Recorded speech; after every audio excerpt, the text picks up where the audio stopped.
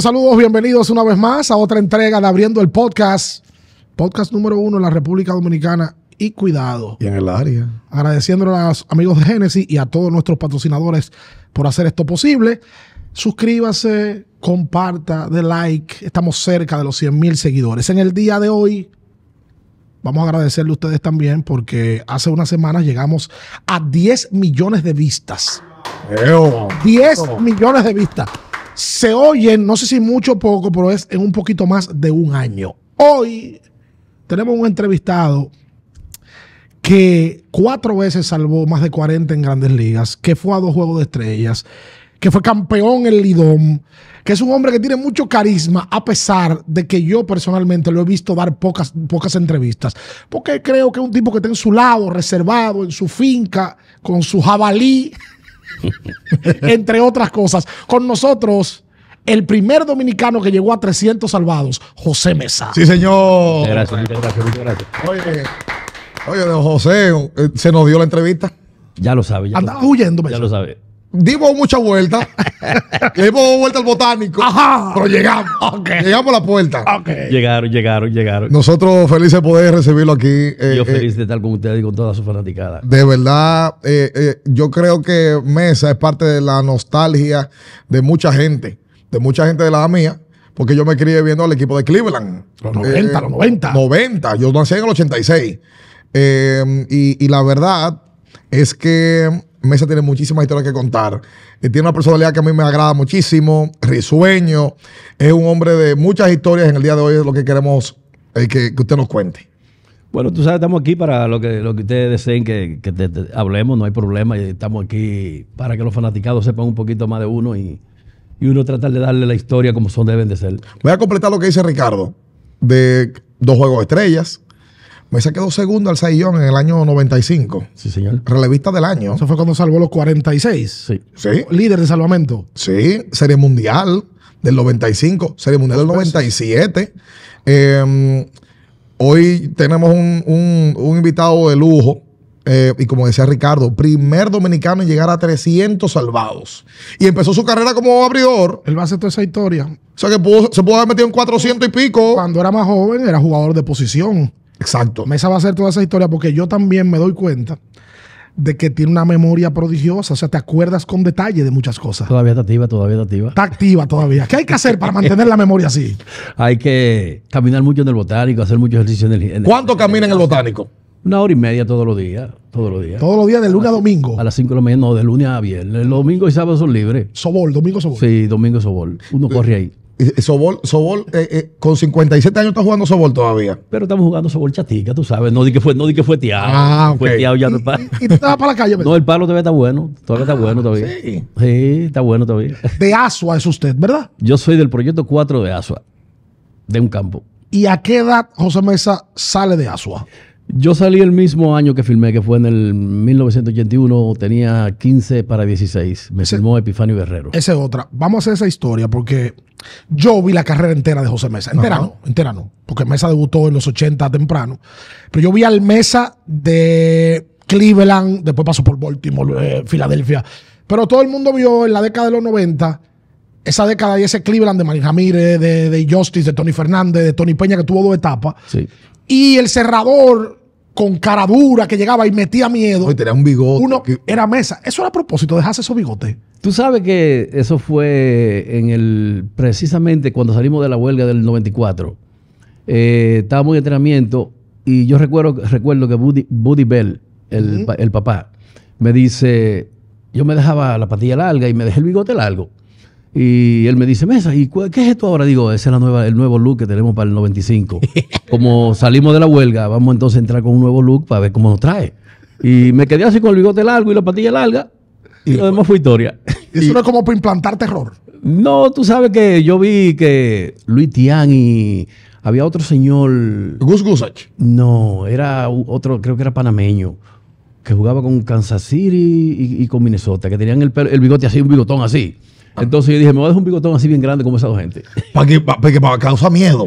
Para inventar. Y este loco. Y me lo dejé así. Los cerradores uno lo veía como con barba, Sí, bigote, sí. cara dura. Además, ¿cu- ¿Cuánto tú tienes mesa? ¿6-4? 6-3, 6-3, nada. más. 6-3. Lo que pasa es que tiene una caja Y es que- bárbara también. Y se mantiene ready físicamente. ¿Cómo surge el béisbol en la vida de José Mesa y la historia de Mesa en Asua? ¿Cómo empieza a jugar pelota y llegó la firma?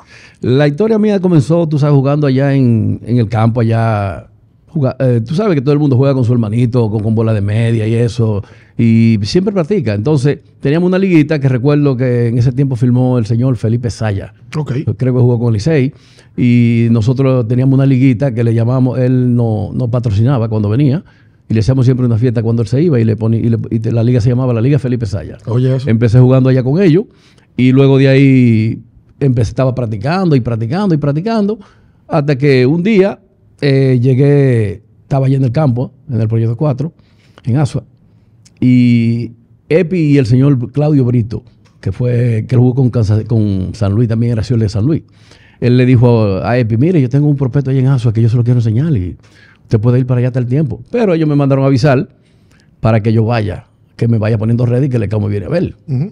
Con quien me mandaron a, decir mandado se lo, se lo comió. El. No me lo dijo nunca. No hizo el delivery. No me lo dijo. Y me veía todos los días porque él jugaba conmigo el muchacho. Ajá. Todos los días, hermano de, de- de Sergio Beltré, era el, el muchacho que mandaron el mandado. Ok. Nunca me dio el mandado. ¿Qué pasa? Que ese día por la mañana, un un cuñado mío que vivía vecino de la casa de mi mamá, tenemos que sembrar un tomate. Tenemos que ser, ya tú sabes. Y me fui con él en la mañana sea, hacer trabajo. a, a sembrar en la tierra, a Sí. sembrar en la tierra.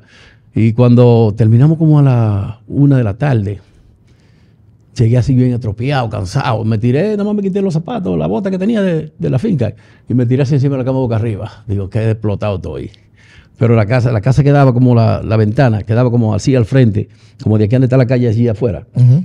Y yo cuando estoy así que ya estoy como cerrando los ojos, oigo un motor. Ti, ti, ti, ti. Digo, papá, esa bulla de por Dios. ¿Qué, qué- qué me quiero contar? Y me dice él, pero muchacho, tú sabes lo que es el ECAO esperándote allí en Ansonia y tú estás durmiendo.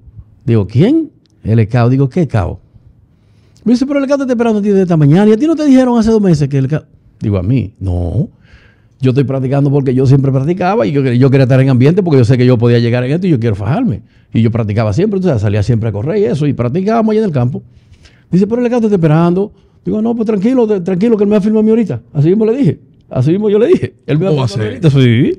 Sí. El muchacho. Nosotros lo la- puso a esperar, cao.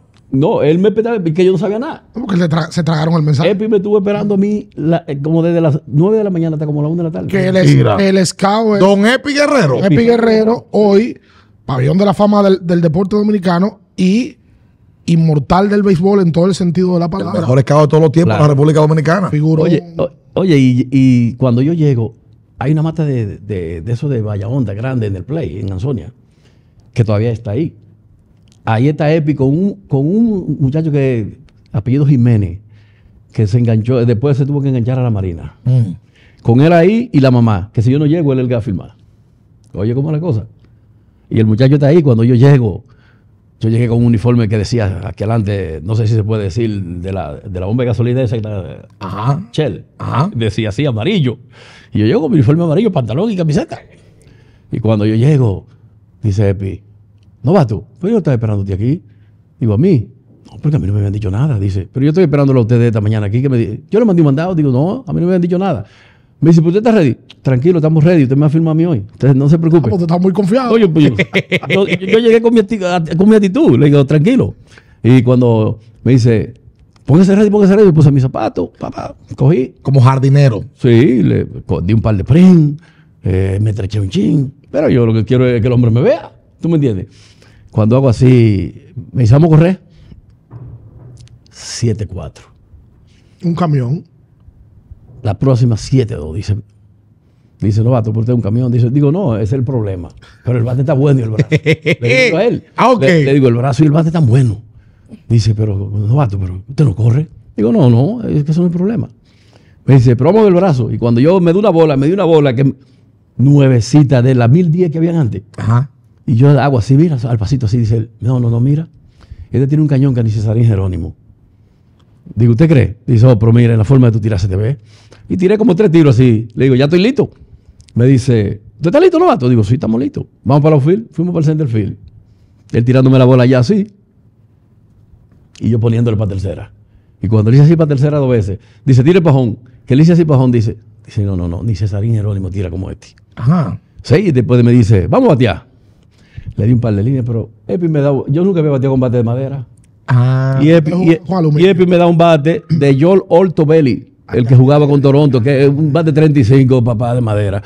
Primera vez que tú bateabas con madera. Y, un, y si un hombre con 166 libras. Dime, ¿a dónde, ¿a dónde le voy a sacar ese bate? Un par de líneas. Le di un par de líneas ahí por lo dejar. Y entonces montan a Brito en la lomita y Brito tirándome como a 100.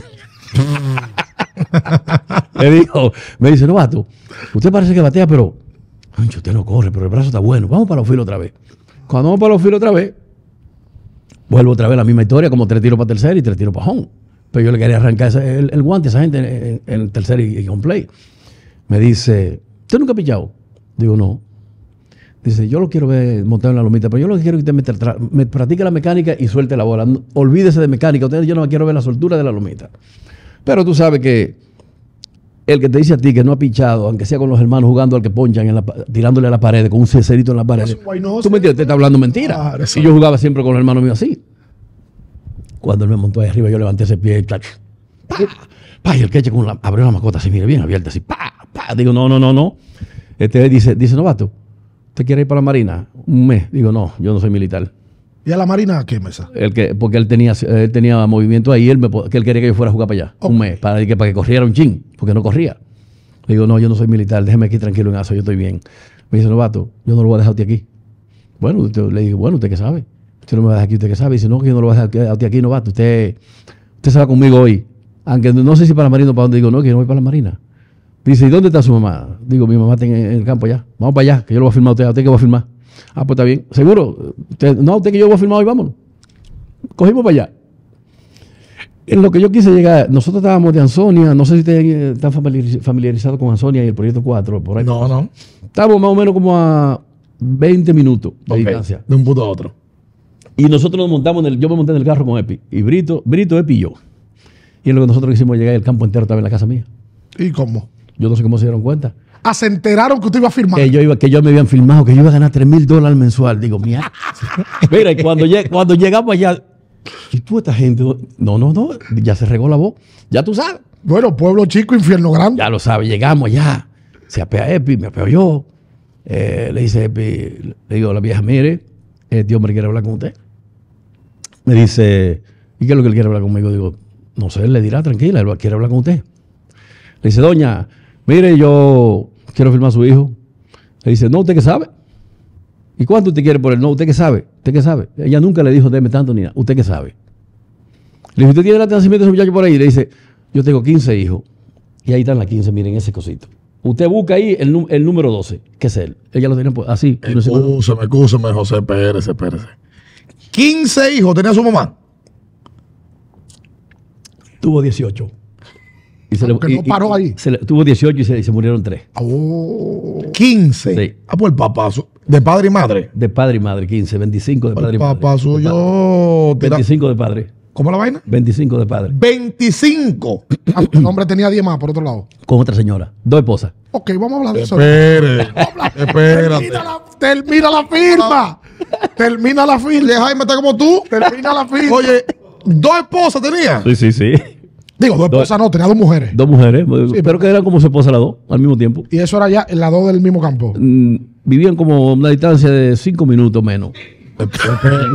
Ah, no, pero el león de la metro. Espérate, espérate, espérate, espérate.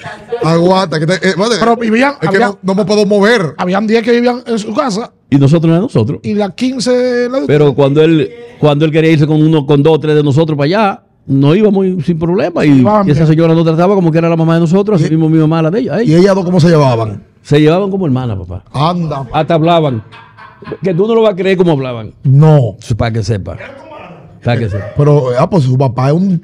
eh, Era, era duro que a las dos mujeres se llevaban bien. Los viejos de antes no peleaban, las mujeres de antes no peleaban. Por marido, no. 15 y 10. Sí. Digo, me imagino que eh, allá en ese pueblo, en los pueblos en esa época, eso era normal. Hay mucho. ah, ah, yo, vi- yo llegué a ver uno que te- tenía siete mudadas en, en- allá en el campo, en, en una misma sola casa. Ah, pero a Porfirio Pero, Rubirosa, que pero vivía él, ahí en pero- Asua. pero él era medio haitiano. Pero espérese. Decía que, que él. Entonces, entonces, usted a la mamá de su otro día hermano ¿cómo, o sea, usted la saludaba? No, cariño? yo iba donde ellos, como ella era como mi segunda mamá. Y así mismo. Y así mismo eran los de aquel lado con, ellos. To- Todavía. Todos juntos. Mi mamá hace dos años que murió y al día de hoy los hermanos míos de ella venían y venían de mi mamá como que ella era su mamá. ¿Cómo va a ser? Sí, sí, sí. Bueno, mantuvo a los hijos unidos Todo el tiempo, todo el independientemente tiempo. de que. Noso- nosotros andábamos con él pandequiera así, ya tú sabes, era una cosa como que allá era aquí, aquí era, era allá. Pues vamos para atrás. Nos quedamos en que Epi le dice el acta de nacimiento de ese hombre, ¿dónde está? Exacto, el acta de nacimiento. Ella se lo enseñó y le dijo, mira, ahí está, usted busca el número 12, ese es él. Y le dice, ¿y este muchacho nomás tiene 15 años? Y dice, sí, él tiene 15 años. Esos son toditos mis hijos, míralo ahí. Desde el más, el, más grande hasta el más pequeño. Ahí el hombre pusimos la firma, filmamos, y le dice a Brito, mira, te voy a dejar esta dos bolas y le voy a dejar dos a él. Tú, tú me trabajas con él, me lo haces piche. Y eh, mañana, el lunes, tienen que estar a donde Monchín picharlo. Le dice a Monchín que yo le mandé a ese muchacho y a ti, que te dé un contrato a ti y uno a él, Eso es para el Licey. para el Licey. Ah, pues era una vez. Firmado con, con Toronto Firmó- y firmado firmó- una vez firmó con el el Licey. Con el Licey de una vez. 200 dólares, 200 pesos ganaba yo con el Licey. ¿Y, y la firma con Toronto? 3 mil. 3 mil. ¿Qué se hicieron con esos 3 mil? Muchachos, de todo. Ahí se hizo de todo. Ahí. Bueno, el pueblo entero lo sabía. Oh, pero claro, ahí se hizo de todo. Ahí se, ahí se renovó la casita. Había una televisión media vieja que se, había que arreglarla. Y quedó cuarto. Y quedó cuarto. Porque era que Pero- el dólar estaba en 1.34 cuando yo cambié. Ah, ok. Ok. Pero José, espérese, porque yo voy un poquito más para atrás. ¿Cómo vivían 15 en una casa? Tú sabes que. Y era una casita pequeña que si tú la ves, era una casa de dos habitaciones. Dos habitaciones. Una sala y una habitación. ¿Y cómo dormían? Pero muchas veces tú sabes que no, no estábamos toditos juntos porque tú sabes, yo tengo hermanos de 76, 76, de 65 y así. Ah, ok. ¿Me ¿Entiendes? Estaban, y algunas se casaron, otras vivían por otro lado, algunas estaban en la capital, otras estaban en Asua. Pero llegamos, llegamos a estar, déjame ver, los más pequeños somos, somos seis, hay una que está de- de- detrás de mí. ¿Y usted habla con Detrás, detrás- sí, detrás de mí hay tres y yo estoy de- delante de uno que jugó, detrás de uno que jugó con los Dodgers. O sea, nosotros llegamos a estar como siete, ocho juntos. Yo lo- O sea, no, ah, no- no estuvieron los 15 juntos. Yo creo que los 15 no, pero llegamos a estar 7 o 8 juntos en la casita. ¿Y cómo uno? Porque, por ejemplo, Ricardo, ¿tú te acuerdas? ¿Tú tienes cuántos hermanos? dos. Ok. ¿Tú, tú, ¿Tú te acuerdas de los cumpleaños de ellos? Sí, pero a veces se me cruzan. Se te puede cruzar. Sí, pero me acuerdo de los cumpleaños de los dos. Pero se te- si tú tienes cuatro o cinco hermanos, yo imagino que se te cruzan. Pues, por ejemplo, ¿cómo tú te acuerdas de todos esos nombres? No, yo me acuerdo, yo me acuerdo de los nombres, pero de, de- de los cumpleaños no. No. Espérese, espérese, De espérese. los nombres, claro. De los, De los nombres, 15. yo me acuerdo De los, de los 25. De los 25. nombres de los No, 25. los nombres de los 25 yo me los sé. No, no, pero lo- los 15, 15. Es más, de los 15 no. De, los 10 de allá. Claro que yo me los Dígame los 10 de Yo- Yo allá. me sé los nombres de todito. No de puede todito. ser. Lo, Los que- 10 lo que yo no te voy a decir el acta de No, nacimiento. no, no, está bien, está bien. O sea, Nombre. el nombre, el nombre. Mira. ¿Cómo se llamaba la, la mamá de esos 10? la mamá de, de Florinda, de, ellos 10. Florinda. Florinda. Es como su tía. Sí, no, era como mi mamá. Ok. Era Coño, como que mi está mamá. fuerte. Es que ella tenía dos madres. De verdad, dos madres, qué bien. Era como mi mamá. Los 10 de Doña Florinda. De Doña Florinda, la mayor era Aurelina, Julián, Chachito, Kiko, Onesa, Altagracia, Melania, César, Bolo, eh, que le dicen Bolívar y Alba Luz. Y eso- esos son los 10 de padre. Viven eh, todos allá todavía. No hay, yo me llevé dos de ellos pa- para Nueva York. Ok. Que hubo uno que murió allá, que fue Simón Bolívar, murió hace creo que seis años allá, y lo traímos. Está César allá en Nueva York y los otros viven aquí en Santo Domingo. Yo creo que si él, se, acu- 10 de padres. si él se acuerda de los 10 de padre, No hay que preguntarle. hay que preguntarle por los 15 de padre y madre. No, yo me lo sé los nombres. No, yo me lo los imagino. 25. Y dígame una cosa, y el viejo, cuando cumplía años, él Tú sabes se que- juntaban los 25. Tú sabes, no, tú o sabes se que, juntaban las dos madres, las juntaban un tú sabes que yo no, no, no, no observé eso nunca, porque el viejo murió cuando yo tenía 11 años. Oh. El viejo murió cuando yo estaba pequeño, cuando tenía 11. Pero te imagino que los cuentos lo debes saber. No, porque yo, tú sabes que en esos tiempos no se, en los campos no se celebraban cumpleaños. Ah, el viejo cumpleaños ya. O el viejo cogía pandera a otra, o el viejo cogía pandera a otra mujer o se quedaba bandeta. Esa era la celebración. bueno, si él tiene, oye, si él, si él, si él tiene 25 duro. hermanos, la celebración era pariote. hermano. claro. ¿A qué edad él murió? Él tenía 51. 51, relativamente joven. En este tiempo le, Cada dos años le hacía este uno. tiempo hubiese tenido 96. Relativamente joven. Si hubiese seguido, Dios del, Dios delante. No, si él tuvo 25 y Dios le hubiera dado más vida, hubiese tenido 40. No, porque ya las mujeres ya no estaban, no parían ya. Ya, ya ya estaba- estaban, ya estaban cortadas ya. Y esa era, esa era la dos de él, ya. Esas eran las dos mujeres de él. Digo, en el, en el campo hay supuestamente tres que, son de él. Bien. Porque tú sabes Pero que era un padrote. tú sabes que antes se usaba que tú ibas para el juez civil, para Asua, ¿verdad? Del campo. Y yo iba a declararle, el hijo mío le decía, llévate ese, ese muchacho y decláramelo, eh, la cédula de nacimiento. Entonces, supuestamente, supuestamente dicen que esa tres fue así. Ah. Y cuando le dijeron, ¿y el papá de ese muchacho cómo se llama? Oye, ¿y qué cédula, qué cédula tú tienes ahí? Mira a ver si hay otra. Ah. Él es el papá. Pero cuando murió el hermano mío, que hace como cinco o seis años que murió, el mayor de nosotros, de padre y madre, eh, los otros hermanos de padre vinieron con ella, porque ella vino al, Ah, ok, ok. Y, no- y no- y no- y ella estaba como extraña, no quería hablar con nosotros. Y le dice, mira, vete a saludar a tus hermanos, míralo ahí, que son tus hermanos. Y digo, ¿cómo que son sus hermanos?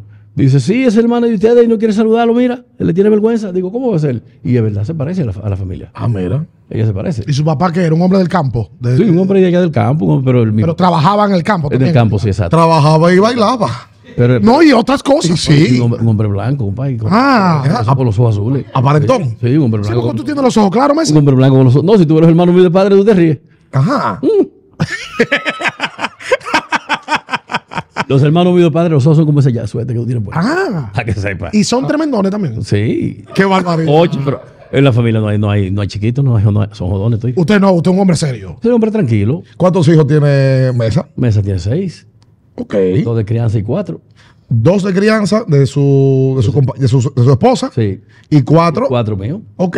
El menor es José Ramón. José Ramón, que está lanzando ahora mismo en El pelo- Venezuela. el pelotero. le, mandamos, Sí. le mandamos un saludo a José Ramón. Es el menor. eh, y, y que bueno, ha tenido experiencia invernal también. Sí, ese- es el más chiquito. Es el menor. Ese tiene Entonces. ¿20 y cuánto? Ese tiene 29. ¿Y dónde vive? No, él vive todavía conmigo. Ese es el hijo mío. Ese es el niñito mío. Ese es el niñito mío. Ese es el niñito mío. Y- él, él- él se va para los Estados Unidos, se va para donde quiera y desde que termina la temporada, pan de papi. Pone- ¿Y el día que se case?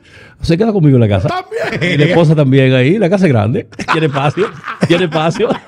Se te ve que tú eres una persona muy familiar. No, no, con él. eh, No, no, yo soy loco con mis hijos. Yo soy loco con mis hijos. Ok. y, y, y, y qué bueno verlo. O sea, eh, que hizo suyo los hijos de, de su esposa, suyo para allá y vamos para adelante. Y esos muchachos conmigo son, son más apegados que los míos, míos. Que los mismos míos. Ajá. Los dos. Ah, mira. Bueno, ahí se dio el caso literalmente de los tuyos, los míos y los nuestros. Sí, sí. Porque cuando ustedes se juntaron tenían hijos cada uno y después tuvieron uno, Exacto, exacto. uno de los dos. Un solo tuvimos. Exacto. Mira Completado. Licey, Monchín Pichardo. Monchín Pichardo. Pero espérate, porque tú firmaste a los 15 años, Messi. a los 15. Y después de ahí, ¿qué pasó? ¿Cu- ¿Cuál fue el, el- el proceso? El proceso fue, tú sabes, llegué al Licey, eh, filmé. Por cierto, que yo recuerdo que me encontré el primer día que llegué al Licey. Para que tú veas lo que la cosa. Nosotros nos, nos pillamos, veníamos en la guagua y nos pillamos en la Gómez con, con Independencia. Primera vez que tú venías a la capital. Primera vez que. No, no, yo había venido a, la, a jugar a la, la Liga de las Américas y a, a la Vivo Carmona, habíamos venido una vez. Ok. Y fuimos al estadio una vez. Pero esa era como la segunda vez que yo había venido a la tercera a la capital. Y cuando nos pillamos ahí, me dice Brito, yo vengo con Brito porque yo no sé para dónde voy. Y ve el Olímpico, qué sé yo, para dónde voy, ni para el estadio de Quiqueya. Y me dice Brito, vámonos a pie aquí, novato, para que cojamos un carrito hasta, hasta la Gómez, para allá, hasta el Olímpico, y ahí salimos para el estadio de Quiqueya. Suerte de la vida. Cuando llegamos ahí, ahí está Rafael Landetoy, Wow. en un carrito que él tenía como rojo, con un musicón. Y dice Brito, oh, pero mira a Landetoy aquí. Él iba para el play, que ellos tenían juego ese día. Ok. Mira dónde estoy aquí. Digo, ¿dónde estoy? ¿Ese es Rafael dónde estoy? Dice, sí. Y le dice, el guabá, eh, mira, este novato que vamos para allá, para el estadio tú vas para el Quiqueya, dando una bola. Y dice, oh, pero móntense. Ah, mira. Oye, y nos montamos, pero ese, oye, yo llegué sordo al play. La música alta. Uf, y los vidrios arriba. Y esa música no me lo oí. Digo, ay, mi madre, un hombre que viene de campo que no sabe, nunca había oído esta cosa. Y un musicón, yo no me decía, pero y, y es de verdad. Y digo yo, pero mira qué cosa de la vida. El primer día que yo vengo a la capital a filmar, me monto en el carro de Rafael Landetoy. Para que vea. Señales. oíste. Y me monto, fuimos al play, pa, pa, filmamos. ¿De qué año estamos hablando, Mesa? El 81, en octubre del 81. Ok. Ahí vengo y nos vamos. Y cuando estamos ahí afuera esperando, que ya no vamos a ir, llega, llegó, recuerdo que llegó Julián González Guananico. Wow. Llegó otro muchacho que era apellido de León, que pillaba con el Licey en ese tiempo también, y Eddie Castro. Ok. Esos tres llegaron. Y Eddie Castro había firmado con Toronto en ese tiempo, pero él lo mandó de nadie para el Licey. Ok. Y me dice, me dice Brito, mire, ese, ese novato lo firmó Epi ahora y ese guananico y ese fulano. Digo, oh, pero esa gente tan grande, compadre, y esa gente tan grande, porque esos tipos estaban grandotes. Cuando yo lo miraba así, yo le decía, pero ve aquí esta gente tan grande. Después nos fuimos a Asua, seguimos practicando en Asua y ahí tuvimos estuve yo practicando y de, de ASUA iba al complejo. No, primero de ASUA venía al, al Olímpico. Tú sabes que en el Olímpico tenían la Liga de la Reserva. Ok. Todos los equipos ahí juntos, el manager era Elvio Jiménez. Ujú. Mulo. Y yo siempre venía todos los, recuerdo que venía todos los viernes y, los y los lunes al, al Olímpico. Yo nada más venía pichado y me iba. Pero ya yo a lo, a lo- como al mes o menos de yo, de yo estar pichando ahí, ya yo estaba pichando en los Brujos de San Juan. Me mandaron para los Brujos de San Juan. ¿Tú te acuerdas que ese año estaba la Liga de los Brujos de San Juan? allá en- en- estaba los tomateros de Asua y los Brujos de San Juan. Y los azucareros del Este y los caimanes. Exacto. Que ahí fue que salieron. Claro. Exacto. Ahí me mandaron a mí a pichar de una vez para allá, para, para los Brujos de San Juan. Como abridor. Como, no, no como Jardinero. relevista. En ese momento relevista. Soy relevista, Ah, ok. relevista, porque tú sabes que ¿y tú crees que unos baticos sí lo iban a meter allá como abridor en el Olímpico, yo era abridor. Y esa liga en Candela, yo imagino. O por cómo que si era en Candela, papá. Ahí estaba Villa- eh, Rafael Villamán, Juan Samuel, toda esa gente estaban ahí jugando. Y iba la gente a los juegos. Sí, no, el, estadio San Juan se llenaba. Pero tú sabes que en ese, eh, a mí me motivó mucho y fue como Dios, tú sabes, porque había un amigo mío allá en el campo que cuando esa, esa liga empezó, los brujos y los tomateros, él, fue al play, al a la inauguración y jugábamos juntos allá en el campo. Y me dice, Concho, recuerdo que José Uribe González era el señor del Licey, el difunto, allá en, en- Los Brujos. Y dice, mira cómo están todos enanitos ahí, mira filmado. Y tú, un hombre, un hombre tan grande, un manganzón así. y, tú, y tú no has filmado. Y mira esa gente como tan. ¿Tú crees que es posible? Digo, pero tú juegas pelota también y no has filmado. Dice, no, yo me voy a fajar porque yo vi que ya esos chiquititos están filmados ahí. Yo, yo, yo voy a filmar. Yo me voy a fajar. Me- Digo, mi hermano, yo le voy a dar sorpresa a usted. Le dije yo a él, le dije, yo le voy a dar sorpresa a usted. A la semana y pico yo filmé. Después, de después de esa conversación. Después de esa conversación con él. A la semana y pico. Y, y, y yo creo, porque la historia de Mesa, Toronto, lo cambian a Baltimore. Y entonces, en Baltimore es donde arranca la carrera en Grandes Ligas de, de, de Mesa a levantar los ojos.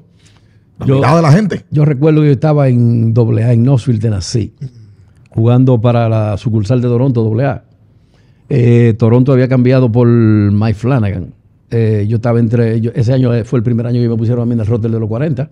Yo estaba entre los primeros prospectos de ellos. En ese tiempo no se usaban ni que, que prospecto uno ni dos, sino eh, el, el prospecto y ya. Exacto. No, no, se- no había mención de los primeros 100 ni que, Ajá, qué, nada de eso. Y yo recuerdo que al faltaba una semana para terminarse la temporada. Y ellos estaban entre o si me subían para Grandes Ligas, o me cambiaban, o me mandaban para institucional. No sabían lo que iban a hacer. Pues yo iba a pichar, pero yo había pichado ese año, creo que 199 innings en AA. Y entonces ellos dijeron, no sabemos lo que vamos a hacer porque hay un pelotero que va a hacer que van a, a dar el nombre lu- luego y no sabemos si Baltimore te va a coger a ti. Exacto. Digo, bueno, ¿y qué hacemos entonces?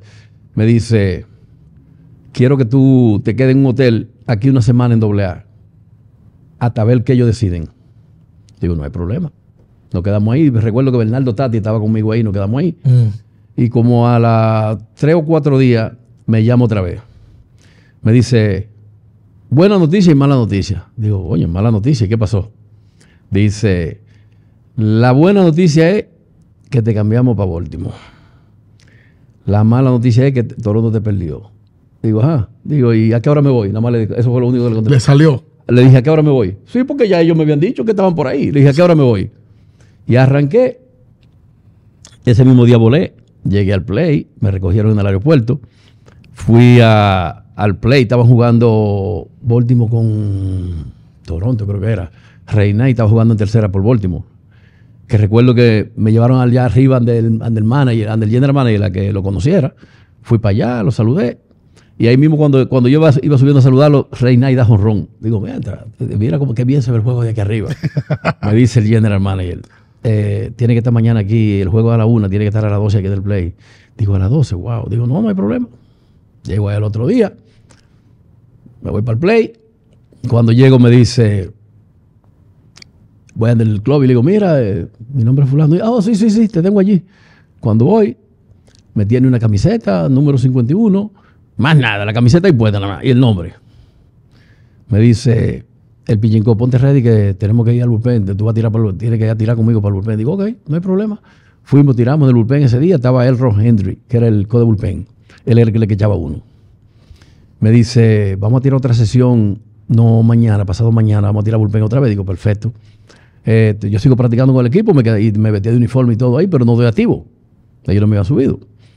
Cuando al otro día me dice, eh, tenemos que ir a tirar, el manager era el Carl Rickin Jr., senior, El papá de Carrico. el papá, y me dice, le dice el pichingo, tú tienes que ver a este muchacho tirando. Eh, y le dice a todos los pitches, todos los pitches, tú sabes que último lo tenía Mike Bodikel, Mike, a, a Cary McGregor, tenía un, un paquete de gente tirando como 85 millas, era lo que tenía. Ya tú sabes. Cuando le dice, ustedes tienen que venir para el bullpen a ver este muchacho tirar. Ustedes no han visto un brazo así. Cuando yo veo que todo el mundo va para el bullpen, digo yo, pero ¿y- ¿Qué es lo que ¿Qué pasa? es lo que está pasando en el bullpen hoy? Todo el mundo, el manager, todos los coaches, todo el mundo para el bullpen. Sí, em- empieza y yo, pa, y piedra y piedra, pajón, y curva, y y, va, y cambio, pero el cambio mío era como 95, imagínate. El cambio. Oh, y yo sabía tirar cambio, yo lo que tiraba era reta. Oye, y cuando viene y dice, me dice el piñico, ¿tú quieres pichar en Grande Liga? Digo, ¿y y para qué yo estoy aquí? Exacto. dice que hoy, digo, hoy es el lunes, va a abrir el miércoles frente a Roger Clemens en Boston. Digo, no hay problema. ¿Cómo la cosa? Sí, le dije, no hay problema. La primera aparición de José Mesa fue contra Roger Clemens. Sí, en, Boston. No, y tú tienes que ser, Mesa, la única historia que yo he escuchado que te suben por un bullpen. Ya lo sabe. Pues Mesa tiró un bullpen y le dijeron, tú vas para Grande Liga. Sí, sí. Porque a ti te suben. do- tú tienes, tú tienes doble pen. A, un buen juego y dices, va para arriba. Exacto. Pero un bullpen. Se Oye, la cambiado- se terminó la temporada y fui para allá y tiré dos bullpen. Oye, está buena. Cambiado, él fue el jugador a ser nombrado más tarde. Sí, En el cambio. sí. En el cambio. Entonces, hace un bullpen. Y del bullpen le abre los ojos a todo el mundo y dice, ok, tú abres dos días. sí. A, Cuando- a enfrentar a Roger Clemens. sí, señor. Cuando llegamos allá, eh, tú sabes, por cosas de la vida, Baltimore tenía que andar trajeado. Ok. Tiempo. Un- Viajaba en traje. Del play al, al hotel era trajeado con ¿Usted corbata. tenía traje en ese momento? Sí, yo tenía dos. Ok. Con corbata y con media. Pero a mí no me han dado el memorándum de el- la, de- La regla. equipo, las reglas del equipo no me la han dado. Ni me han dicho tú tienes que viajar trajeado ni nada. Y llegó sin traje el hombre. Y yo he llegado. Tú sabes, en ese tiempo estaban los zapatos azules, los zapatos amarillos, Sí, sí, sí. rojos. Sí, sí. Esa era la pinta que estaba en ese tiempo. Y estábamos en Boston. Andé en un paquete latino y yo tengo un par de amigos ahí que jugaron conmigo.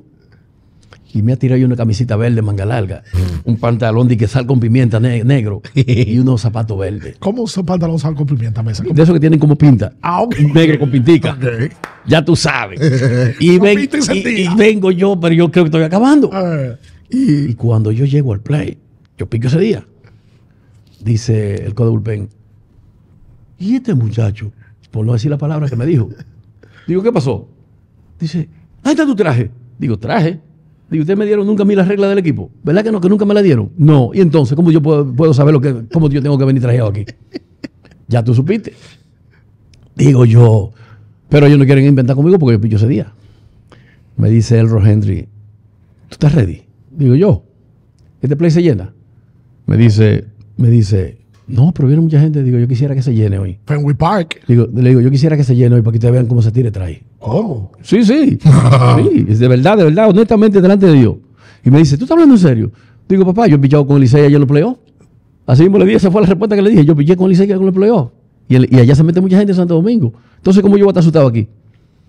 Y ese día yo recuerdo, ellos me hicieron tres carreras. Nosotros le hicimos tres a Roger Clemens. Salimos y estábamos empatados, tres a tres. Como en el quinto inning, yo le desgrané el bate a, a un bate, a un tipo de ellos, creo que era Barry, apellido, que jugaba segunda base. Y va a reinar y me dice, amigo, o usted está duro o yo tan flojo. Digo, estoy duro. Digo, estoy duro. Yo estoy duro. Le dije, estoy duro. Porque yo recuerdo el primer ponche mío de Grande Liga. ¿A quién se lo dijiste? Jim Rice. Wow. 3 y 2. Vámonos. Piedra. Una piedra por medio. Y, Ese fue el primer y fue cantado o abanicado. Abanicado. Abanicado. ¿Tú te acuerdas del Wow, primer hit que Rice, dieron? Salón de la Fama, ¿eh? No, el primer hit no sé quién me lo dio, pero el primer out yo sé que fue Alex Bird, un flyer center. Oye, Oye, pero te estoy hablando que la memoria. duro. Buena. Un fly- un El flyer Specs jugando un- con, con Boston. Con Boston, el center field. Un, flyer, un flyer center me dio. Y- y yo, porque la memoria de, de Mesa es, es bárbara. Entonces, pero para poder adelantar y, y llegar a tantas cosas que queremos hablar, llega el cambio de Baltimore a Cleveland en julio del 92. Primero, eh, tú sabes, yo empecé como. Yo era el mejor abridor de ellos lo primero, el primer mes, con 4 y 3. Efectividad como en 2 y pico. De Baltimore. Sí, después ahí tuve como un par de, de, de jueguitos que me dieron un par de tablas. Ok. Ahí ellos no sé qué fue que le dio, me llamaron para la oficina que me van a poner en asignación. Que tengo ocho días para limpiar asignación o mandarme para triple A o ellos deciden lo que van a hacer. Digo, está bien, no hay problema. Tú puedes venir al play, practicar, hacer tu pesa, pero no puedes parar ni nada porque si te lesiona, corre por riesgo de nosotros. Digo, tranquilo, no hay problema. Yo seguía así mismo, iba al play, corría, pero no paraba ni nada. Ok. Y como a los tres, creo que como a los seis días, que me llama el abogado, eh, te cambiaron para Cleveland. Digo, ¿para Cleveland? ¿Cómo va a ser? Dice, sí, te cambiaron para Cleveland. Digo, no hay problema. Ahí fuimos. Él me dijo, pero tenemos que hacer la cosa bien. ¿Cómo así? Vamos a ir a una emisora a despedirnos de los fanáticos y vaina, porque los fanáticos aquí nunca te han tratado mal. Digo, ah, pues tranquilo. Fuimos a una emisora, duramos como 10 o 15 minutos ahí, los fanáticos llamando y uno diciéndole gracias, que qué sé yo qué, tú sabes. ¿Y ¿Tú le explicabas, tú le explicabas el inglés bien, Mesa? Yo le he dado mi poquito. Yo siempre le he dado mi poquito. Yo fui fresco desde que llegué. Ah, ok. Yo fui fresco desde que llegué. si tú andabas en programa de radio. No, yo fui fresco desde que llegué. Mi segundo año yo le traducía a, a, a tipo hasta de tercer año. Y yo nada más duré dos meses mi primer año. Mentira. Sí, sí, sí, sí. Se te, fa- se te facilitó el idioma. Sí, no, mira lo que pasó. Mira lo que pasó, que esa es otra historia, mira. yo llegué, yo llegué en el 83. Fu- Yo jugué en clase A. Porque yo había jugado en Bradenton en el 82. Habíamos 26, 26 latinos en el equipo. Todo el mundo era latino. Y en el 83 yo he jugado en, en, Florence, que es en South Carolina, Carolina del Sur. Ahí me dice, el siguiente año me mandan para allá a empezar allá de nuevo. Porque dije que estaba muy joven, que sé yo qué. La excusa que me ponen siempre. Digo, ok. Eduardo Denis era, el, el- el- era coach y jugador, pero era el que le traducía a uno, porque Eduardo tiene un inglés que lo tira como, como, como a 60 mil millas. y el hombre era que no traducía. Lo han subido a él para la clase A fuerte, Anda, para que ya, vaya para el allá. asunto. Ya tú sabes, hay, hay ocho piches latinos que no hablan inglés. Entre ellos estoy yo. Y el pichinco llama a un, a un meeting. Miren, ustedes saben que subieron a, a Eduardo Deni eh, y pasó esto y esto. Y dice, Mesa, tú eres mi traductor. Digo, ¿cómo es? Tú eres mi traductor. Digo, yo no sé inglés. Dice, desde hoy tú, tú, tú aprendes. ¿Cómo es? Tú aprendes desde hoy.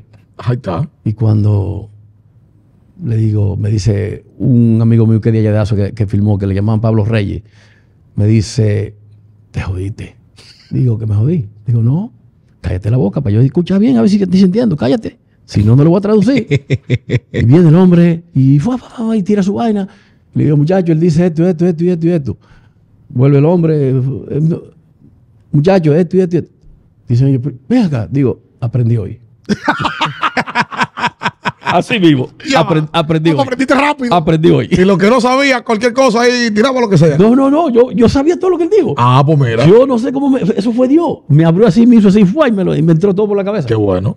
Y de- desde ese día le dije a los muchachos, ustedes ven, por eso es que hay que ser fresco. Yo siempre estaba un americano y me ponía con ellos.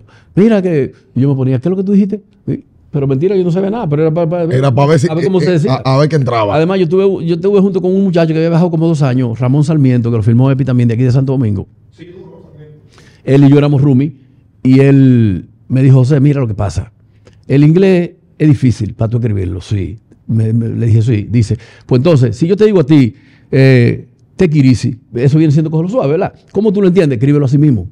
Como tú lo creas que tú lo puedes entender. Como tú lo- como tú lo escuchas. Exacto. Que tú lo escuchaste así, tú lo escribes así. Y cuando tú lo vayas a leer, tú lo lees así, pero tú te lo vas grabando en la mente y ya tú lo sabes. Entonces yo hacía eso. Él, él practicaba mucho eso conmigo. Ah, pues mira. Sí, él me, me ayudó mucho en eso. Tú, yo, yo eh, le preguntaba lo de lo del cambio a Cleveland, ¿verdad? Como Usted dice ya que Baltimore se despide, va a la emisora. Entonces llega Cleveland. La primera reacción de, de este Cleveland que fue armado por John Hart. Sí, yo llegué, yo llegué, recuerdo que volé de Baltimore a Cleveland, volé a, a Kansas City. Ok. Cuando vamos a Kansas City, que vamos aterrizando allá en Kansas City, no pudimos aterrizar. ¿Por qué? Mal tiempo abajo. Ok. Y ya que estamos ya a punto ya de, de- de aterrizar, tuvimos que volvernos a levantar. Para Wichita, a 45 minutos de Kansas City. Ay, mi madre. A bajar en Wichita y quedarnos ahí hasta que den el visto bueno para salir. Digo, mientras yo que tengo que estar en este, en este equipo a las 4 de la tarde del play. Digo, y entonces. Digo, bueno, que sea lo que Dios quiera. Como a la media hora que podemos levantarnos de nuevo a ver si podemos bajar. Si no podemos bajar, vamos a tener que seguir para Miami. Digo, oye esa vaina. El- y tú, Pero primera vez que tú ibas para Primera vez que voy a recibir, a, a juntarme con el equipo. Viene, pasan las cosas, pa, pudimos reaterrizar, cogí un taxi, fue para el hotel. Cuando llegamos allá, Me voy a ir en la guagua con los muchachos. Yo veo que Charlie Negui me dice, Mesa, ¿tú pichas hoy? Digo, ¿cómo que yo picho hoy? Yo apenas acabo de llegar.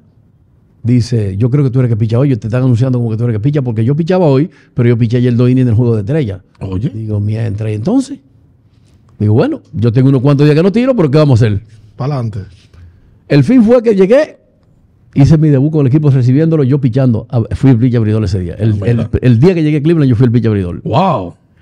Y estoy ganando 2 a 0 en el, en el sexto inning. Y Baelga me hace un error. ¡Baelga! ¡Ay, Baelga! ¡Ay, ay, ay, ay! ay. Solo para Carlos, ¿eh? Baelga me hace un error. Perdí 3 a 2. 3 a 2 perdí ese día. ¿Uno de los pitchers que te salía de concentración? No, no, no, no, no, no, no, no, eso no. Eh, porque era la base llena. Ah, Era con la base llena. Él, él no entró a tiempo y la bola fue a dar por allá por lo del Rey y anotó, y anotó a todo el mundo. Tú al vivo. Todo el mundo, tú sabes que en, en el canal de Kansas City se va así por la orillita. Ajá. Exacto. Ya tú supiste. Jim Tommy cogió tercera y cuando tiró y él no había llegado, la metió por allá. Eh, Ahí nada más decían los narradores perdió Mesa, pero dijeron el juego que fue que Mesa pichó. ¿Tú me entiendes? exacto. Después de ahí yo dije, no te preocupes, que yo, ellos van a, a decir que Mesa ganó. Y empecé, y ahí metí mano en Cleveland. Yo recuerdo que en Cleveland terminé con 4 y 4. 4 y 4. Exactamente. Fue el 92, el año. No- En el 92. 92. Ok. Sí, 92. Y entonces en Cleveland arranca la gran historia de José Mesa, primero como abridor y luego se hace la transición en el 93. 94. 94, Ahí llegué, la huelga. En el 93 ahí llegué, entonces ahí fuimos, fui, era, yo era el, iba a ser el segundo abridor de ellos. Ajá. Pero ¿qué pasa? Estamos en entrenamiento, eh, ahí pasó lo que pasó con los muchachos que se mataron en el bote y todo eso. Sí. Ahí, cuando vení, duramos como una semana nada más llorando y yendo a todos los funerales y toda la cosa, funeral y toda la cosa. Cuando regresamos de jugar, el que le toca pichar es a mí. No estamos practicando ni nada, lo que estamos yendo a todas esas cuestiones. Y yo recuerdo que estoy- estamos frente a, Kansas Ci- a Cincinnati. Estaba Chris Sable, estaba Hal Morris, estaba Barry Larkin, eh, Kevin Mitchell, toda esa gente estaban ahí. Ujú. Y ellos me habían dado como dos honrones back to back, tú sabes, en entrenamiento, pero estaba durísimo y el sol encendido Sí. todo el día. Y yo tengo a Hal Morris en dos detrás sin bola. Y me dio como tres faos corridos. Digo, mientras tengo que tratar de pegar a este tipo, pero yo estaba tan cansado que la bola yo la tiré, yo creo que más alto que ese techo. Exacto. Porque vamos, va- vamos a ponerlo claro. Vamos a poner la cosa en contexto. Le dan dos honrones Sí, antes. sí, Entrenamiento, juego de entrenamiento, año 93. sí. Uno de los pleitos más famosos Ujú. fue ese. Lanzamiento a Halmorri a la cabeza. No, no, no. Si tú, ves- si tú ves el video, el, el picheo fue como a la- esa altura. Ok. Altísimo. Ok. Pues fue de allá donde estaban los narradores. Ok. O sea, Y- se te tapó- se te tapó un picheo alto. Yo le, iba- le fui a tirar adentro. Pues yo tengo que ser. No, yo le fui a tirar adentro. Yo, lo- yo dije, lo voy a tirar, a tirar al piso, lo voy a despegar. Para intimidarlo. Sí, para despegarlo del home porque me está dando mucho fao. En entrenamiento. Sí, pero lo que hizo fue la bola se fue por allá, lejísimo. Y el tipo soltó el bate y cogió saliendo, corriendo para allá. Te corrió. O sea, eh, arrancó para la lomita. Digo, mientras este tipo no sabe lo que hizo, porque yo, con esa, con esa cuerda que yo tenía, ¿tú me entiendes? Dije yo, este, este no sabe lo que hizo. Yo lo que hice fue que me puse mi gorra para atrás, solté el guante, bajé de la lomita, vaya él subía y me tumbaba, tú sabes. Bajé de la lomita, frené el pie de izquierdo allá y me paré a esperarlo. Cuando él vino, le amagué, hizo para atrás. Cuando giró, tú supiste. Lo conectaste. Ay, Oye, él hace un suple. Lo sembré de cabeza. slam, le dicen los gringos. Tú no oyes que él se, ¡Bum! se bajó de la lomita, No, yo me cuadré, yo, yo me activé. le amagó y entonces conectó. Y te digo una cosa, que yo lo iba a sembrar de cabeza. Sandy le agarró la cabeza y se la Ay, ay, ay. Yo lo iba a sembrar de cabeza. Ay, ay, ay. Pues yo levanté ese hombre como un muñequito, pero, Bueno, el- gracias a Dios que Sandy. pero ¿sabes una cosa? El pleito duró como, como dos segundos, fue, nomás. Sí. Fue, ¡fum! y, Sí, porque fue knockout fulminante. y cuando caímos al piso, y yo le fui por encima, pero a mí me, me conectaron bien por ahí, por- en el ojo de izquierdo. ¿Quién te conectó? Alguien, no sé. Alguien de- Alguien me dio un fundazo. El fundazo el- fue tan fuerte en entrenamiento, atención a la gente, que duró de 6 a 8 semanas fuera Halmorri. No, se le partió, le- yo le partí esto. El- ¿Verdad? Sí, la columna se le Ah, partió. Sí. Uh, Y, y cuando nos iban a llevar para, para el, el doctor, el club de nosotros era que nos iba a llevar.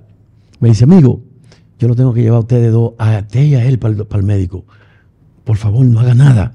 Digo, ¿que tú me tienes qué? Digo, ay, sí, vámonos, vámonos, vámonos, camina, vámonos. Que que lo... Me dice, tú estás relajando. Digo, pero no diga nada, cállate, cállate. Juan del manager.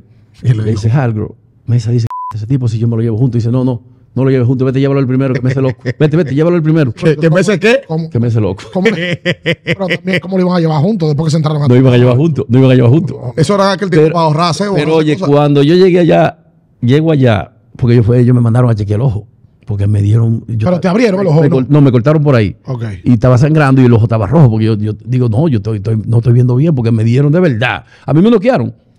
Yo me tiré así para abajo y trataba de pararme. Y yo recuerdo que tenía a Juan Samuel y a. Y a Juan Samuel estaba con Filadelfia. no, estaba con, Estaba con Cincinnati. con Cincinnati en ese Sí, tiempo. perdón. Y el manager era Tony Pérez.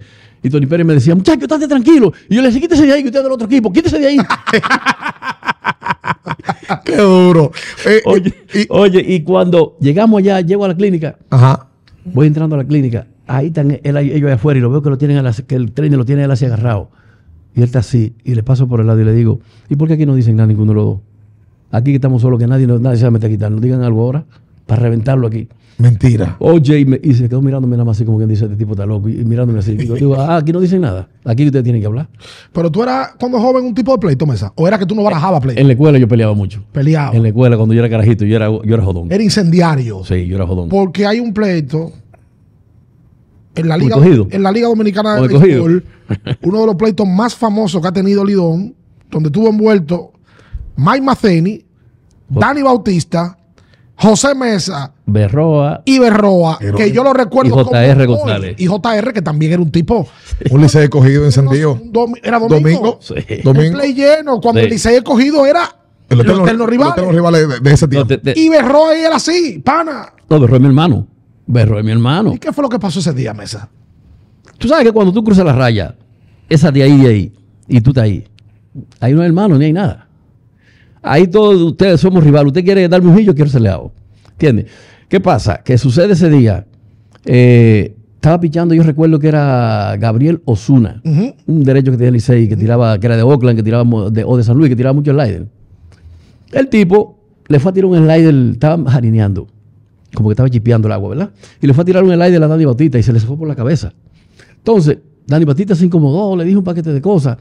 Y nosotros dijimos, pero señores, y un hombre tirando tan al paso le va a querer un bolazo a una gente así para, para, mandarlo para primera. Exacto. ¿Me entiendes? Entonces, Martini le dijo, Ketcher. sí, según el palabra de Martini, que él le dijo, ¿cómo tú crees que te vamos a tirar por la cabeza? Pero Bautista entendió que él le dijo, que la próxima es por la cabeza. Y ahí se fue que le fue mal. Entonces vino y de una vez, tú sabes, Bautista era boxeador. Sonó ahí. Le dio y lo noqueó. Él lo noqueó. Sí, no, sí, él lo sí. noqueó, él lo tiró al piso. Suerte que el, el queche, el otro Heleman, que era que estaba aquí de, de Oakland también, se le tiró encima a él para que no le sigan dando a él. Porque nosotros armamos el pleito y ya tú sabes, encendido. Ahí le digo, oye, le digo al, al relevista que estaba pillando, en el próximo bateador y vamos a seguir peleando. O sea. La, la banca. Eh, eh, eh, todo el mundo. todo el mundo, todo el mundo, todo el. Si la se, se, se paran, la- se y vamos a volver por el juego. memoria no me falla, yo estaba en el play. Y eso fue Exactamente. un pleito largo también. Ah, exacto. Entonces, eh, se vacía la banca, vuelve todo el mundo para los abogados. Exacto. Y entonces, ¿dónde y entra yo, mesa? Y, y yo, no, yo me fui a bullpen, pero le dije, le dije, le dije, segura, el próximo pitcher que pitch, el primer bateador de una vez, vamos a seguir peleando. Vamos a seguir peleando. Vamos a seguir peleando Vamos a seguir peleando. Oye, que no noquearon un hombre ahí sin, sin hacer nada. Sin, sin necesidad. hacer nada, no Ok. noquearon. Entonces, ahí estaba lo- un apellido Lorenzo, estaba, estaba Berroa, estaba Dani Bautista, toda esa gente, ¿tú me entiendes? Y, y- y le fue, los tres le dieron a ese tipo, Ok. a Martini. Entonces, ahí yo le dije, vamos a seguir peleando. Entonces yo veo que ninguno hace nada. Yo vengo del bullpen en el, en el octavo inning, tú sabes, tranquilo, Se ríe. hago mi primer out. Tengo a Berroa en un strike, le tiro el, primer picheo, yo le tiro un slider para ver cómo el hombre reaccionaba, tú sabes, para que él diga, no, no me va a dar, tú sabes cómo es. Y me hizo un swing que yo no sé cómo la falló. Para sacármela, digo, mientras, con malicia que viene. Ay, Porque yo lo que quiero es que el hombre entre para adentro para ayudarle. Ok. Me viré para atrás, tú sabes, y le di el espaldajón. Toma esta, batea esta. Se la pegué en toda la costilla.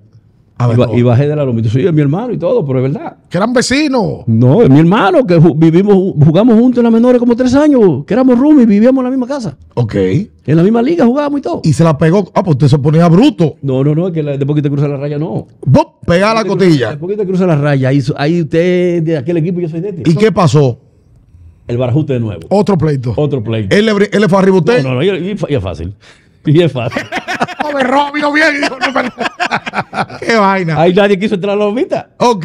Nadie llegó a la lomita. Ahí salió Pujol. Le dije, no, ven, Pujol. te quiero. Porque yo ya Pujol me había hecho una con Licey. Me- Tú sabes, en el 85 me llevó hasta Santiago y no me puso a pichar. Ah. Me hizo viajar para Santiago y no me puso a pichar. Ah, puta, la tenía guardadita. Sí. me recuerda. Y- y- Tenía buena memoria. Y, digo, y digo, ven que que te quiero, que tú sabes que te estoy buscando. Mentira. Se fue para atrás. a- a don Luis Pujol. Sí, Claro, se fue para atrás. Después de ahí no hemos hablado jamás. Él y yo no hablado más después de ahí. Y usted le voceaba, ven, a ti Y que te lo quiero. con Detroit, y yo no lo saludaba ni él a mí. No. No, no, no, no, no. Porque Pujol tiene su carácter también. Sí, sí, tú sabes, pero yo, eh, él es del sur y yo también, él no es de Baní. Y yo soy de Asua. Entonces, somos de allá de los dos. Y con Berroa después sí se vieron y hablaron. Berroa fue de que buscándome al hotel para que habláramos, pero yo no, no lo vi ese día porque yo, tú sabes, yo llegué y me fui para mi hotel tranquilo. Entonces después nos encontramos y hablamos. Le digo, papá, tú sabías que eso venía. Tú, tú lo sabías que eso venía. Y si tú me y dices, si yo te había ido arriba, te reviento ahí. Así me le dije. Qué barbaridad. Le dije, te reviento o nos reventamos. Porque no era verdad que yo te. Yo, yo ese día yo no le cogía corte a nadie. El que iba ahí iba a tener problemas conmigo. Y el ampaya va y me dice, Mesa, tú sabes que eso no se puede. Digo, sí, pero tú, tú pudiste evitarlo ahorita porque tú no dijiste nada ahorita cuando ellos le dieron a él. A Matini, tú no dijiste cómo le dieron a Matini y tú no dijiste nada. Entonces, ¿cómo que no se puede? Ahí vino el hombre y me dice, no, pero tú estás fuera de juego. Digo, pero ¿cómo tú me vas a sacar ahora? Ahora tú me dices que me vas a sacar. Pero después, del juego, después. pero después de que me dice que eso no se puede, que él y yo estamos hablando, que me dice, tú estás fuera de juego. Digo, pero explícame. Se te aconsejó y después te votó. Sí, sí. Entonces después ahí, ahí vinimos y salimos. Y me fui. Y lo demás fue historia, se quedó ahí. A lo- fuimos a la liga como a los dos días. Lo citaron. Sí, a todo el mundo. A todo el mundo. Sí, Mato Berrido. Mato Barrido me dice, cuando yo voy, me dice, Mesa, tú diste mucho puño en el juego. Digo, bueno, si yo le digo que di mucho puño, le estoy hablando mentira. Yo tiré, yo no sé a quién yo le di ni quién me dio, pero yo tiré. Digo, y, ese bolazo, digo, el bolazo yo lo di. Digo, yo no le voy a mentir, el bolazo yo lo di y fue de maldad. Me dice, está bien, eso es lo que quería saber. Digo, no, yo no le voy a mentir, porque estábamos en pleito. ¿Qué íbamos a hacer? Ahí me suspendieron por tres días. Tres días, Sí, tres juegos. Tres juegos. Y para no que salimos del Licey, porque usted jugó poco con Licey luego de.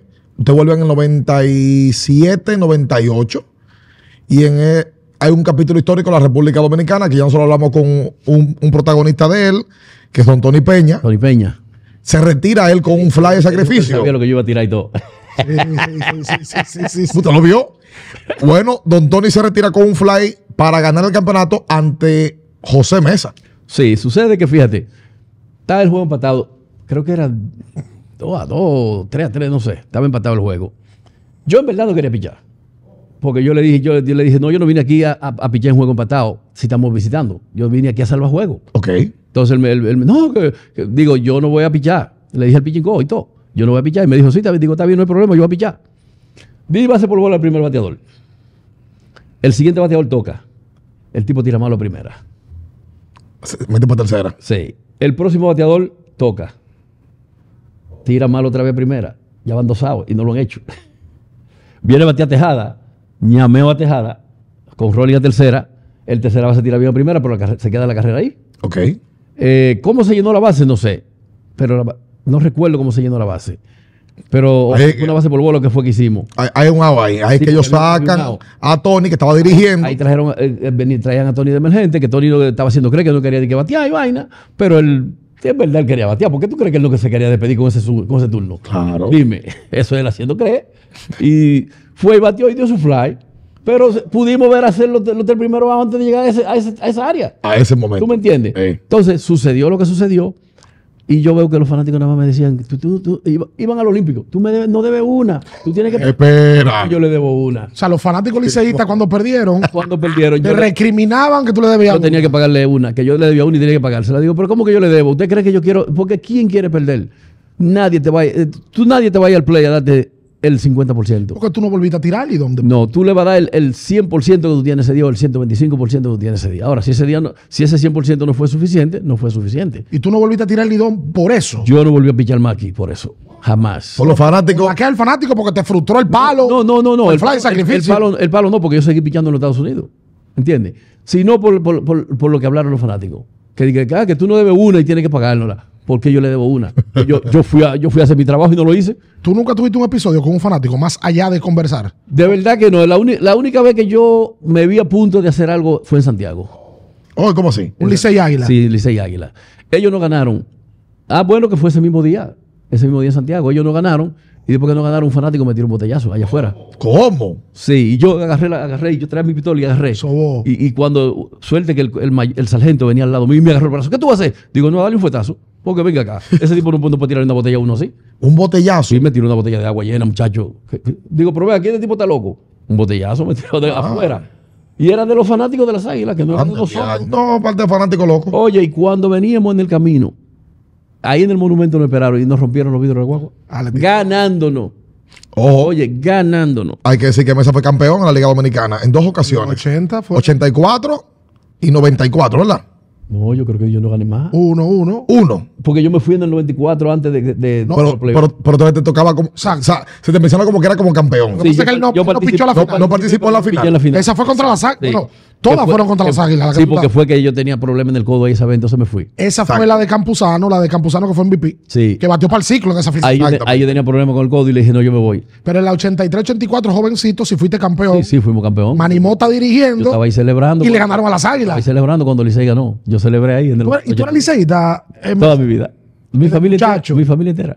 Pues en Asua me imagino que hay muchos liceístas. De- desde que nací. Tú sabes que hay un, hay un personaje conocido de la pelota dominicana recientemente, el señor Phil Regan, que fue, bueno, Regan tiene una historia bárbara en la pelota dominicana, con el escogido, con los toros, pero Phil Regan es que le dice a José Mesa, usted me corregirá, Mesa, como abridor no, como relevista tú eres mejor. ¿Fue así o no? No, oye la historia. ¿Cómo fue la vaina? Oye la vaina. Yo vengo de ganar en el 93 10 juegos. El mejor pitcher que tenía Cleveland. Ajá. Pichar 208 innings.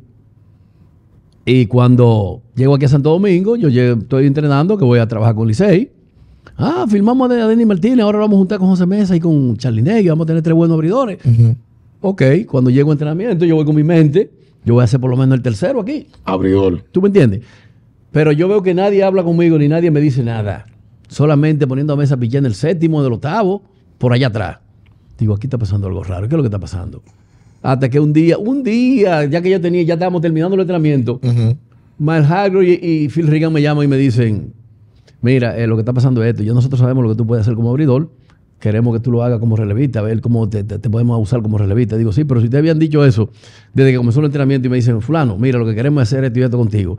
Yo me preparo mejor y le digo a ustedes, no hay problema, vamos, vamos a meterle mano. Pero ustedes me tienen a mí aquí, que yo no sé el día que voy a pichar, no sé lo que va a suceder ni nada. Eh, Usted me tiene en el limbo, dice, no, es que eso es lo que queremos hacer contigo.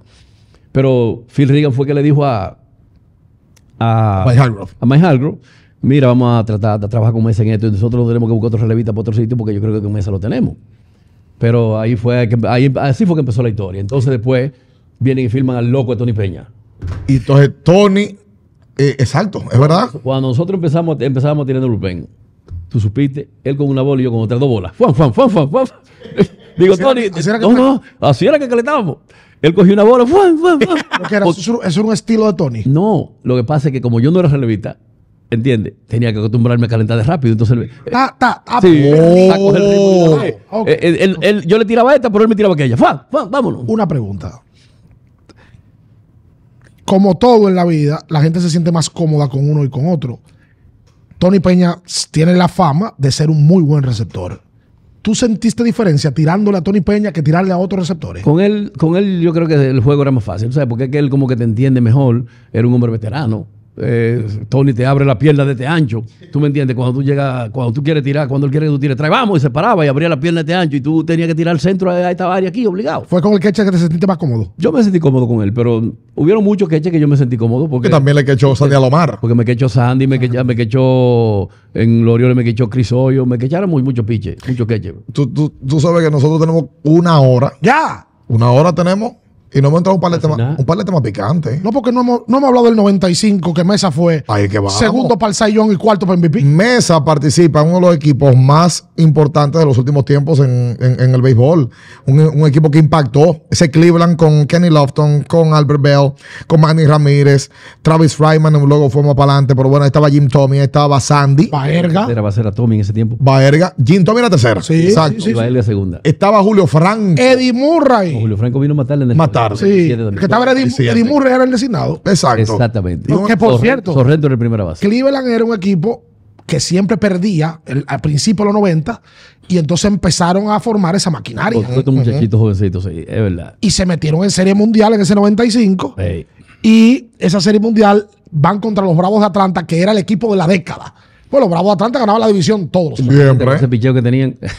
Exacto. Primero, Mesa hace la transición a relevista y en el 95 eres el mejor relevista, salva 46, pero no solamente eso. Segundo al sayón. Segundo al sellón y cuarto al MVP. O sea, ¿cómo te sentiste tan cómodo, tan rápido cerrando juego? No, mira qué pasa. En el 94, cuando ellos me hicieron relevista, ellos me dieron la oportunidad, creo que fueron dos veces a, a salvar el juego. Eh, salvé uno y boté uno, que fueron dos días corridos en, en Anaheim. Entonces, ese año yo piché como en 70 y pico de juegos, 60 y pico de juegos en el 94. Entonces, como yo me hicieron relevista, yo dije, bueno, eh, yo voy para Santo Domingo a tratar de trabajar con Licey como relevista, pero tratando de, de entrar en los últimos años, octavo noveno, para irme adaptando, ¿tú me entiendes? Entonces, cuando yo llegué de- del 95, yo dije, bueno, ya yo más o menos tengo la idea de, de qué, qué más o menos se hace como cerrador. Ahí, la primera aparición, yo recuerdo que apareció en, fue creo que en Boston. O sea, en entrenamiento ya yo me estaba usando como cerrador, eh, ok. pichando en el octavo y en el noveno. Y yo te hice, yo entraba a ver a uno, dos y tres nada más en, en entrenamiento. Ahí cuando llegamos a la temporada, yo recuerdo que fue en Boston. Eh, estaba Tony Peña quechando, creo que era domingo en la tarde. Tony Peña quechando y yo estaba pichando. Tenemos dos outs. Viene a batear Mobón y el, y el empate está en primera. Hubo ese oso. Sí. Y Tony entra, habla conmigo. Digo, digo, vamos a caerle piedra de una vez, olvídate. Y me dice Tony, tranquilo. Digo, no, no, vamos para arriba. Es que él es un bateador y yo soy, yo a hacer out. Ahí viene y entra el manager. Le digo, Tony, si este tipo viene a sacarme, vamos a desbaratar todo esto aquí. ahora mismo". Porque, porque si él me va a hacer a mí relevista y me saca a mí de este juego y Tony me dice, no, él no es loco para sacarte. Digo, si me sacó, hay problema. Ahí es lo que me dijo, ¿cómo le vamos a pichar? Dice Tony, olvídate que yo sé cómo pichar, le vamos a caer a piedra. ¿Tú estás seguro? Le vamos a caer a piedra. Tony le dijo, vete. Ahí el primer picheo, ¡pa! por todo el medio, reta. Dice, vámonos, tú sabes cómo hacía él, que se paraba. Mira, reta, que eso no sirve. y, y los bateadores creían que como que era mentira. Reta otra vez detrás. Y ya lo tenemos en dos. Cuando lo tenemos en dos me dice, dame la alta y afuera. Así mismo fue el hombre swing. Ponchado. Se ponchado. Ahí viene Tony sale corriendo. Y le dice al manager, ¿viste lo que te dije? Ahí mismo. De ahí, ahí fue que empezó la historia de los 38 recorridos salvados Ajá. y el, eh, los 46 del 96. Pero fue ahí en Boston que empezó. 90 y... Oye, un año especial, pues Cleveland se mete en Serie Mundial. Un año que fue un año de sueño, juego de estrella por primera vez que ni en la menor lo había hecho nunca. Exacto. Lo hice por primera vez. Sí. Fui el, el segundo de, de ensayón que, que pudiera, pudiera haberse discutido porque yo tuve la efectividad en 1.3. 1.3 de 1.3. efectividad yo tuve ese año. Y estamos hablando que fue relevista del año. El relevista del año y todo eso. Su, su primer año real como, como, Como, como cerrador. como cerrador completo. Como cerrador. Inmediatamente se gana el premio relevista del el año. del novato del año. Exacto. El cuarto en MVP y, ter- y segundo en, en ensayón. En Cleveland, eh, porque nos toca hablar sobre tipos que pasaron ahí, había muchos dominicanos. Sí. Me cuentan que Mesa se le enganchaban los los más jóvenes para que Mesa pagara la cuenta. No, mira qué pasa. Eh, sucede que tú sabes que cuando los muchachos llegaban, vamos a decir, dominicanos, latinos, eh, si llegaba por lo menos Manny, llegaba Tavares, yo no se lo voy a tirar a. No voy a, ellos no van a coger a andar con Baelga, ni, ellos no conocen a Baelga, ni, ni saben que- de dónde Baelga. Era Buscan, a su gente. Se iban con su dominicano. Ok, Cuando Tavares llegó, Tavares y yo estábamos con el mismo abogado, que fue el primero que llegó de ellos. ok. Estábamos con el mismo abogado. Eh, el abogado me llama. Ya yo había conocido a Tavares en el 92, que ya a mí me mandaron para instruccional a, a lanzar dos semanas en, en instruccional. Y tiene buena memoria. Para que trabaje en, eh, en cambio y vaina. Ok. Ahí, cuando llegamos allá, yo, ya yo había estado en el complejo de Épico, el hermano de Julián. Ok. ¿Qué pasa? Que yo, y él me dice, José, Mesa, ¿tú, ¿tú conoces Congelado? Digo, ¿Congelado?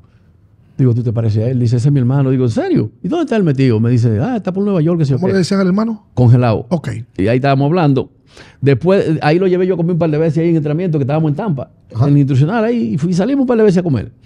Cuando eh, estamos en entrenamiento en el, en, el, en el 93, ahí seguimos hablando, tú sabes, porque estábamos siempre, yo me quedaba siempre en los hoteles, en entrenamiento. Lo puse a firmar con el abogado mío. Ok. Ah, usted ya era del mismo abogado. Sí, lo, lo puse a firmar con el abogado mío, se llamaba Mike Power, All right. de Baltimore. El abogado me llama un día y me dice, estoy, estoy gestionando, que yo creo que van a subir a Tavares. Digo, a, di- digo, a subirlo de clase A para Grandes Ligas. Digo, ¿tú estás hablando en serio? Dice, sí, lo van a subir. Él, te- él lo van a subir, tú verás. Cuando como a la semana que del decirme eso, va, suben a Tavares. Ok.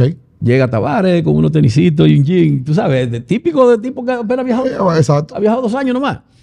Y llega, y, me- y llega para el local mío y me digo, quédate aquí cuando nos vayamos, porque íbamos de viaje ese día. Te vas junto conmigo para que la seguridad no te vaya a decir nada, tú vas conmigo, tú me entiendes, para el avión. Y allá en Baltimore, tranquilo, vamos a comprarte ropa. No te, íbamos para Baltimore. Y me le digo al abogado, oye, hay que activar Tavares, Tavares, hay que, poner, hay que comprarle toda la vaina a este hombre. Dice, si no, cuando llegue aquí nosotros vamos para el mall con él. Digo, tranquilo. Ahí cuando se iba montando en, el- en la guagua, íbamos cruzando por él, en el estadio viejo de Baltimore, hay que salir, de Cleveland, hay que salir y cruzar por el parqueo. Ajá.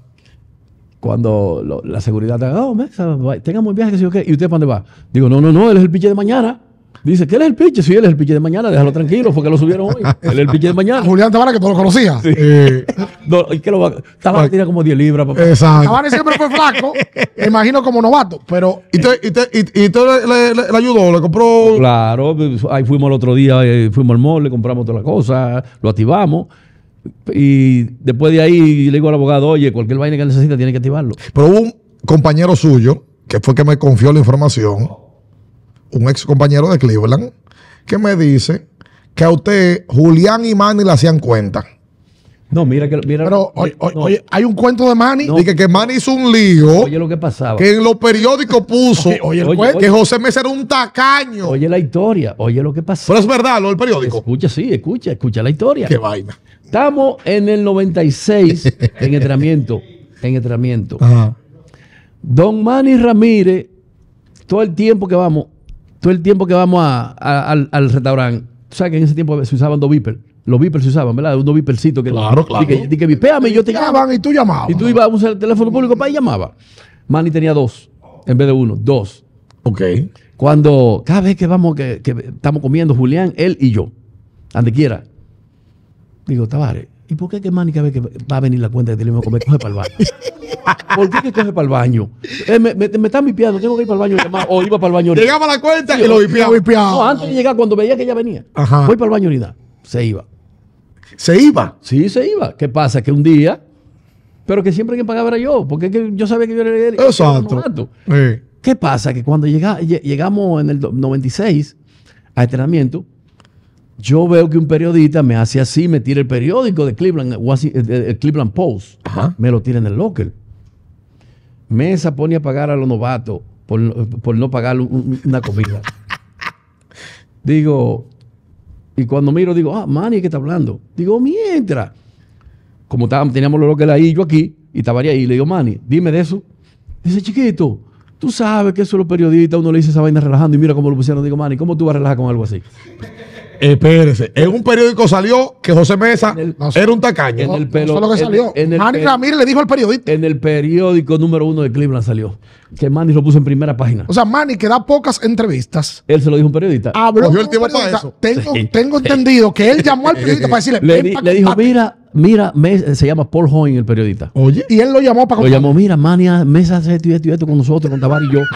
ya tú sabes, puso este tipo, Mesa es un tacaño, Mesa pone a los novatos a pagar. Y Manny, pero Manny, Manny es dadivoso. Manny lo que es un charlatán. Es un sinvergüenza. Oye, Manny es un Su- charlatán. Pero Charlatán, en su forma de ser es Sí, así. en su forma de ser que él es así. Es un sinvergüenza, un charlatán. Tiene otros cuentos. ¿Quién es más Manny tacaño? Ramírez. ¿Cuál es más tacaño? ¿Manny o, o- o Julián? Manny. No, Manny, Manny se, se cae de arriba y no, no abre hermano.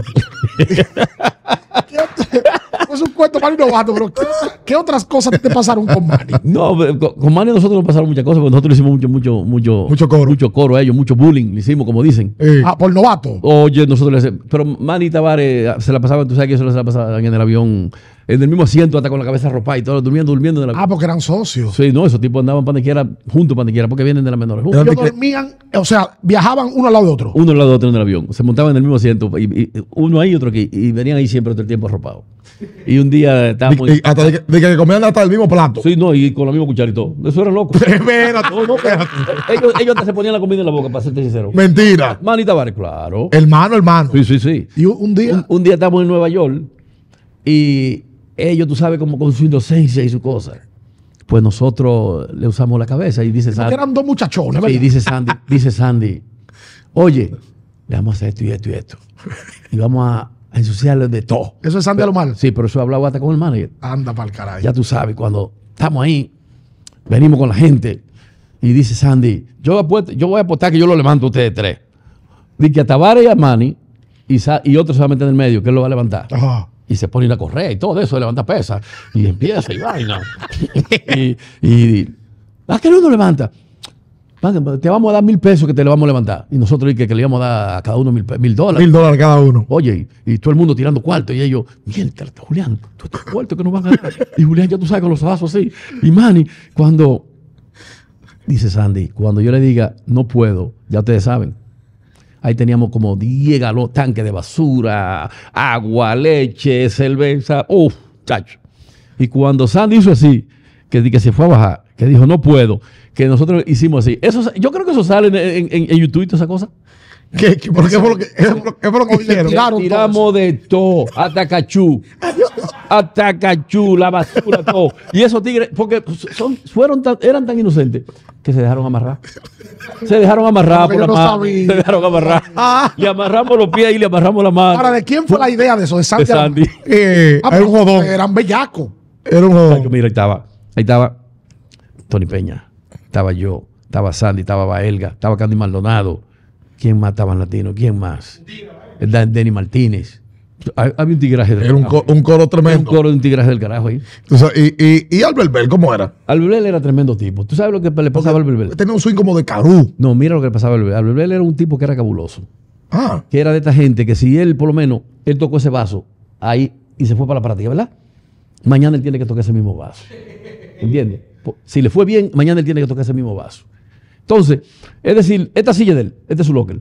Tú te sentabas en esta silla antes del juego y él te encontraba y te decía, mira, vete de ahí. Y te decía de todo, de todo lo que él podía decirte. Pero si él dio dos y hoy, ve mañana a la misma hora porque si no él te va a buscar. Ah, a que te para sentaras. que te siente otra vez. ok. ¿Entiendes? Pero, si, pero si ese día le fue mal, no te acerques por donde estaba. Ah, y siempre, y siempre le iba bien. No, una, una vez, yo recuerdo que vamos saliendo de práctica, hay un periodista de Cleveland así, mira, muy quitado de bulla, sentado en su... Dice, ¿qué carajo tú haces?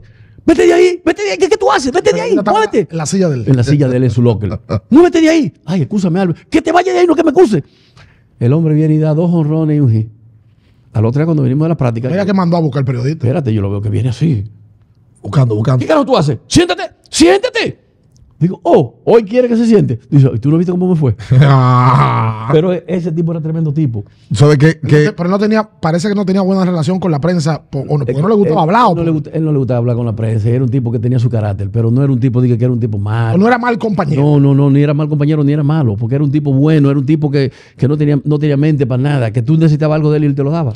El hijo mío, ese hijo mío que tuve ahí, ese José Ramón, ese, ese loco con él, Ah, ese le decía a él de todo. Y siempre, y siempre estaba en su loco fuñendo con él. porque uno vio, la, niño. uno Sí, vio la sí, imagen de Albert sí. dándole el codazo a Fernando Viña, el fundazo, una ¿verdad? vez tiró algo para el público. Es que Fernando, y- eh, no, en ese tiempo él estaba medio, medio loco, estaba en bebida y vaina, pero, Ah, y, tú sabes, pero después él se dejó de todo eso, Ah. se rehabilitó tranquilo. El tipo estaba número uno. El mismo año de, de mesa, segun- segundo al sayón, Albert Bell queda segundo al más valioso. Oh, pero- da 50 y... que pudo haber sido el más valioso. 50 dobles y 50 honrones. Exacto.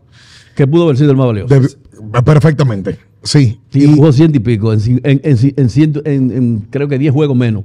una máquina. ¿Qué le pasó a ese- Cleveland? Que no ganan el 95 y luego lo vamos a meter en la historia del 97, que hay una historia incluida suya. Cleveland, yo creo que no- lo que nos cayó fue, tú sabes que la maquinaria de Atlanta era demasiado duro los picheos. Muy fuerte. El picheo de Atlanta estaba demasiado duro. Maduro, hay, hay que decir la verdad. Porque mira, el último juego, ¿cuántos hit dimos en el último juego? En el juego 5. Un hit lo dio Tony Peña. O sea que no bateamos, nadie batió. Íbamos al home nada más, pan, y de una vez un rollicito, un, un- un fly. ¿Entiendes? Pero el equipo de Atlanta tenía un picheo, tenía a Amado, a Smoke y, y Glavin. Esas tres gente estaban. Y tenían a. a- a- no sé si era Every que estaba ahí, ¿verdad? Steve Steve Avery, Avery. claro. Y Avery estaba ahí Era otro zurdo. ¿Entiendes? Y ese, no, y no- pr- prácticamente no nos pichó. Entonces, Sí. pi- pierden en el 95. Perdemos en el 95. Oye, Pasa- en el 94 la huelga, Cleveland estaba en primer lugar. Sí, Sí, porque ya el grupo sí. venía allá. Pasa 96, 97 tienen una gran temporada. Y 96 también tuvimos tu buena 96 Sí. se quedan, se quedan en el playoff. Con playoff. En los playoffs. Exacto. playoff. De 90 Brady Anderson, ese equipo de Brady con Palmeiro, Sí, Ese fue, el año que Brady dio los. Sí. No, 56. Sí, del 51. 96. 51. Tenía también a Roberto Lomar en ese tiempo ellos. Exactamente. Exacto. 97, Cleveland yo recuerdo que el estadio se llenaba todos los días. No, todo el el tiempo. famoso Jacob Field. Sí, porque cambiaron de, corrido. cambiaron de estadio, el Municipal Stadium, al Jacob Field, y fue impactante ese estadio. 400 y pico de días corridos vendi- vendidos todos los Soldado. Todos los. Todo. Y el equipo cambió. Yamal Ramírez ya estaba. eh, estaba Tony Fernández. Sí, el Omar 97. Vizquel. Sí. El 97, el famosa final de los Marlins, donde Edgar Rentería da el hit en el terreno. Sí. Moisés Alou quema esa final y Liván Hernández es el MVP. Pierden la final. No, pero espérate. ¿Qué pasó? Que pierden, no, aguanta.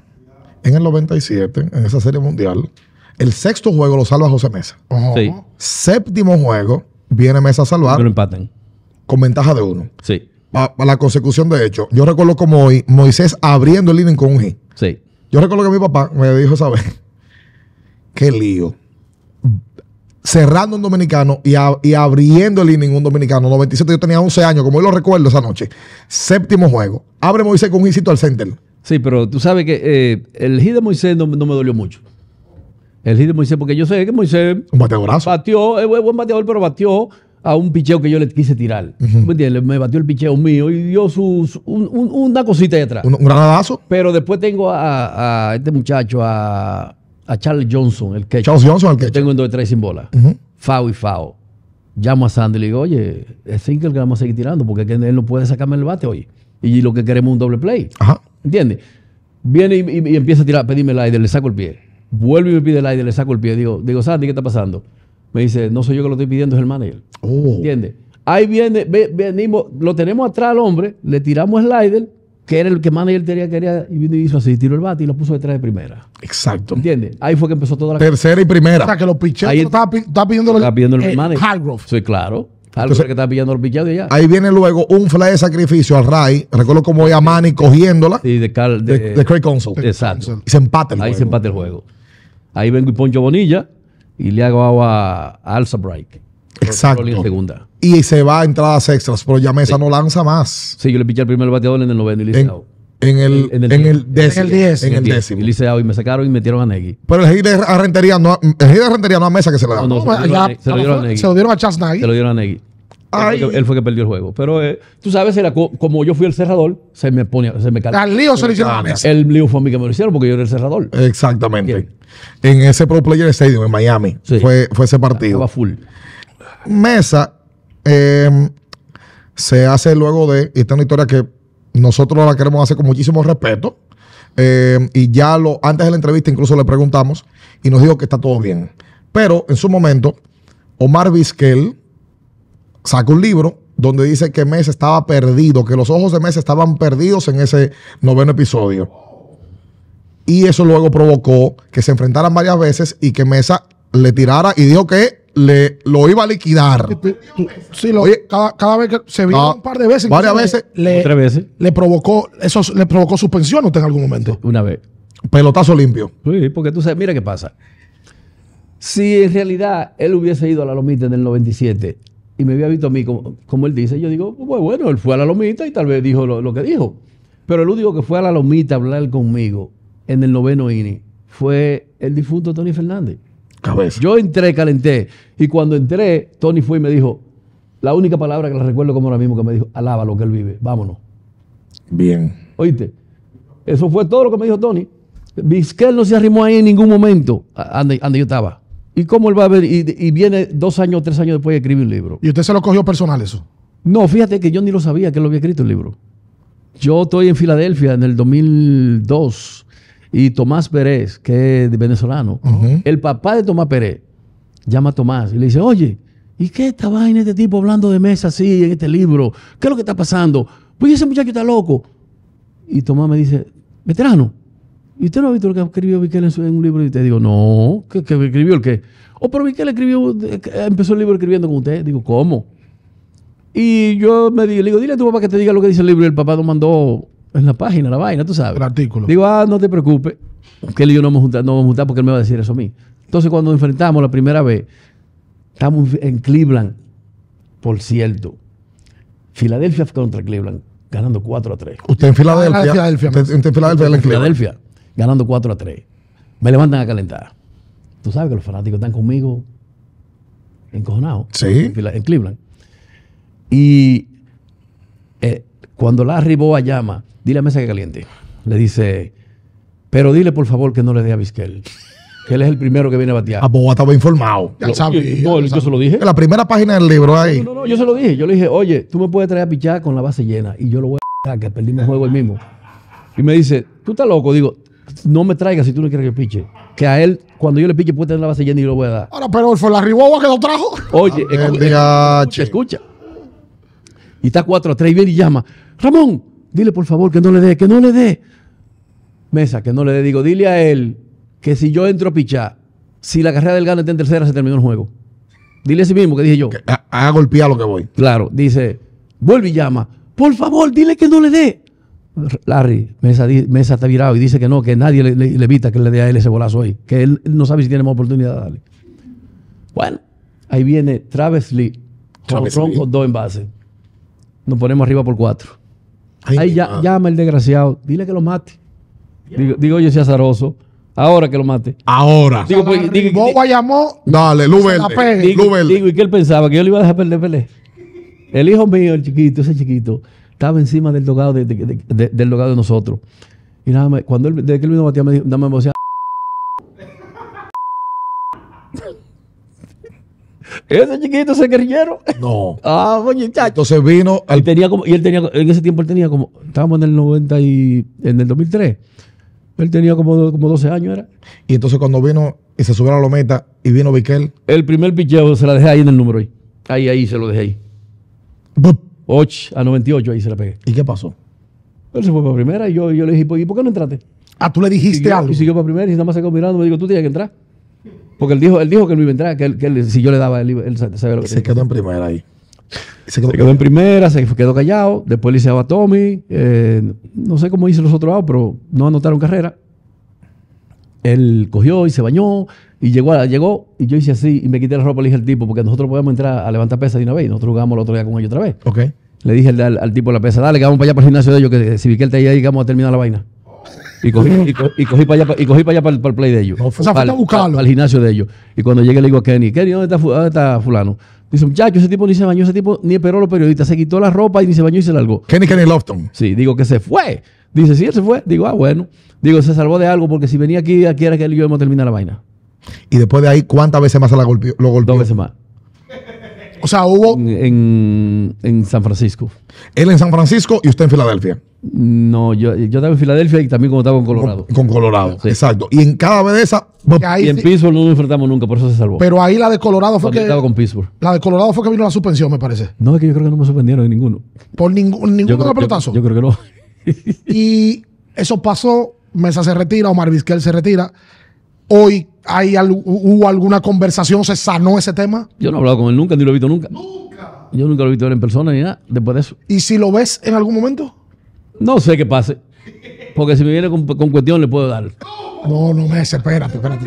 Espérate. Espérate. Si tú, por una situación de la vida, Oye, firma de autógrafo oye, vamos- en Cleveland, Vamos a provocar ese No, a encuentro. Cleveland yo no voy a ir a firmar autógrafo. Me puede invitar como me inviten y yo no voy a Cleveland a firmar autógrafo. Tampoco. No, yo no le voy a lo maltrataron. Me, de- invitaron a, me, han invitado a, me invitaron a la reunión del 95 y yo le dije que no. ¿por qué? No, yo no voy no tengo nada que buscar en Cleveland. Pues te fuiste con un dolín. Ya lo que se, lo que, lo que se terminó, lo que se iba a buscar en Cleveland, yo lo busqué.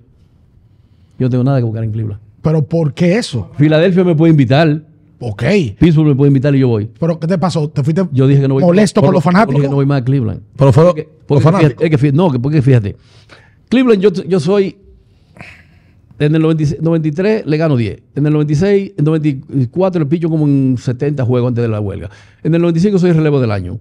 En el 96 le salvo 39. 97 lo llevo a la mundial. Y, y cuando él ahora que ellos tienen que hablar conmigo de contrato, lo que hace es que me cambian para San Francisco. Ah, No ahora No sí, ahora entiendo. sí.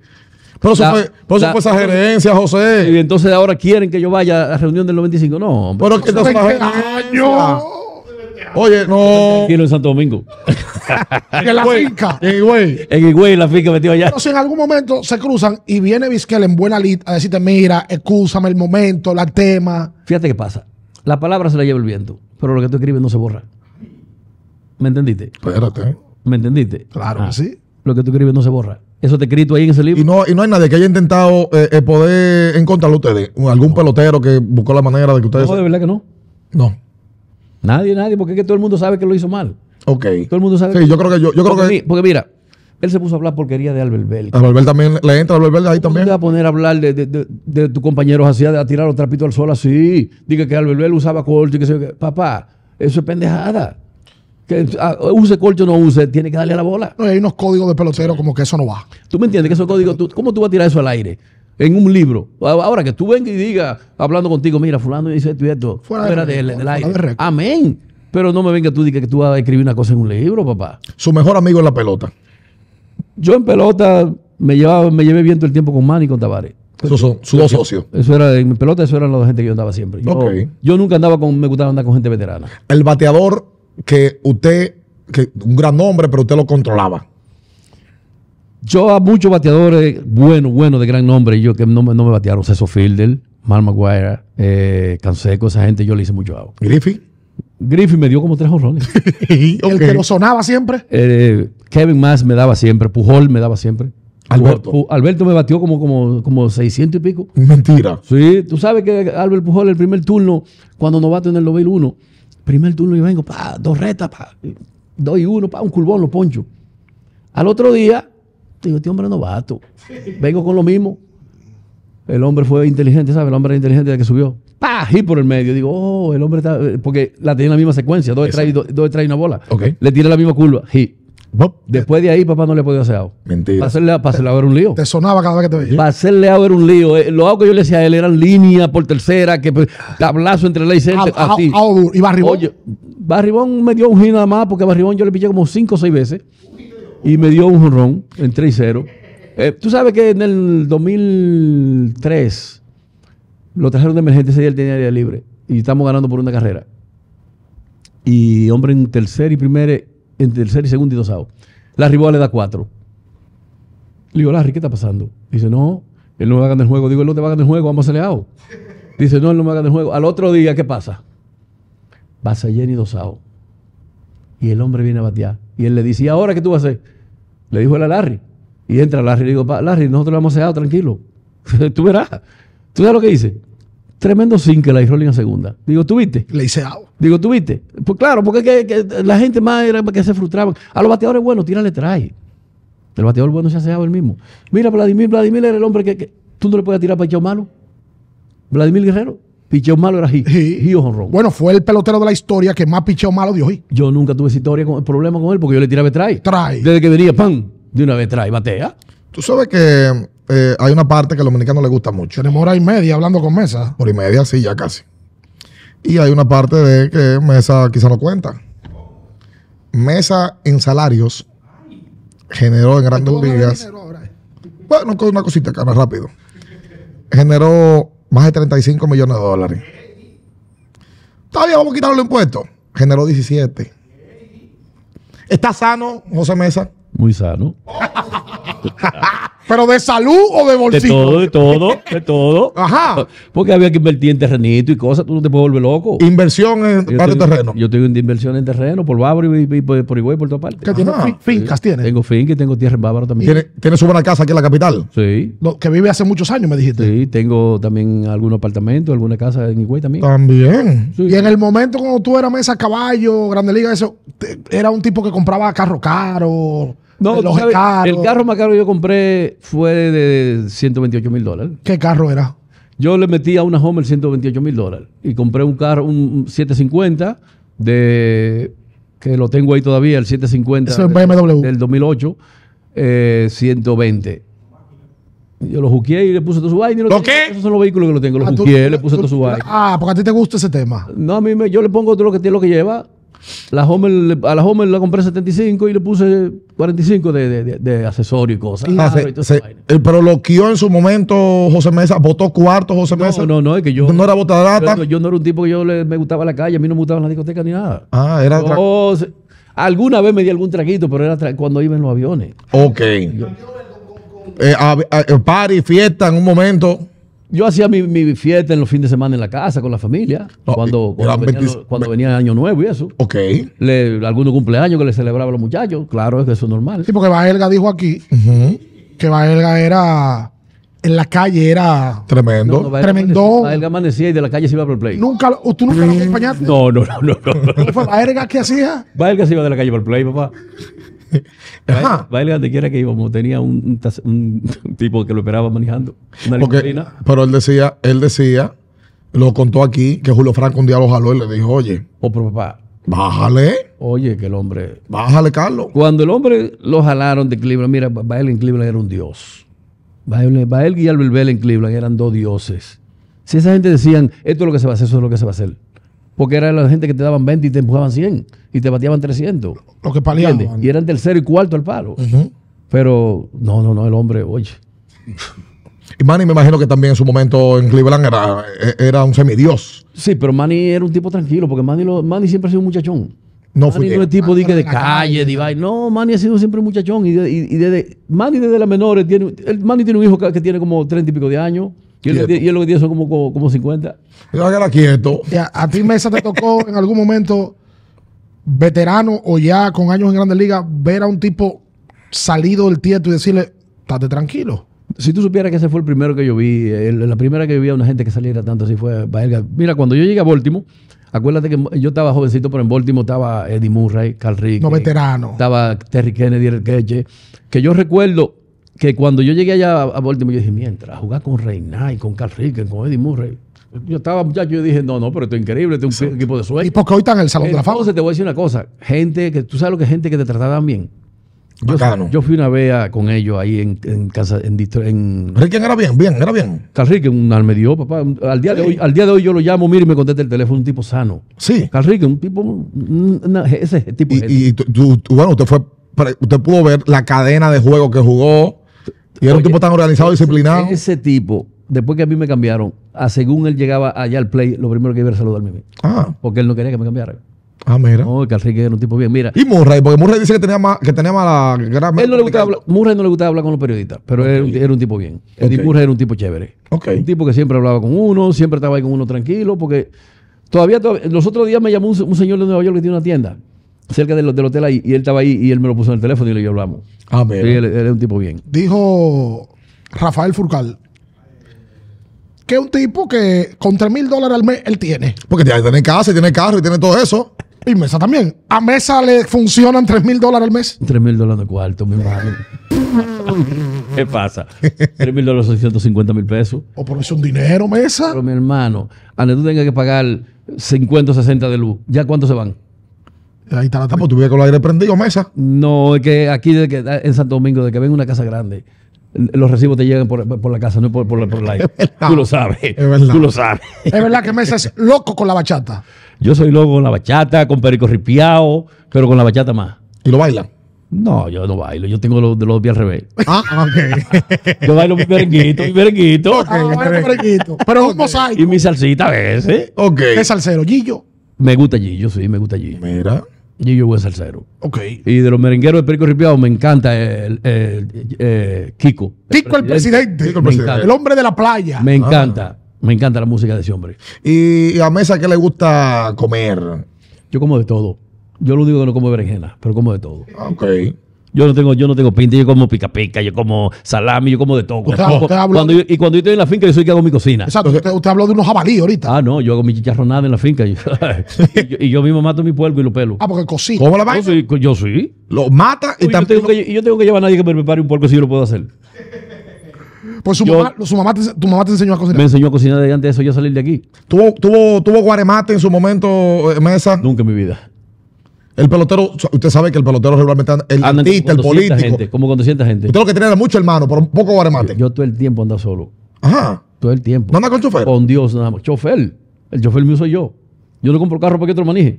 ¿Y tiene una gente que le haga diligencia? La mujer me tiene un- un- alguien que le haga diligencia. Que le maneja. Ok. Le maneja. Pero Yo- cuando tú eras caballo, Mesa, y tú venías al país, 46 yo andaba, salvados, yo andaba solo. sin chofer. Sin nadie. Yo todo el tiempo manejo yo. Ah. Yo no voy a comprar un vehículo para que te lo maneje.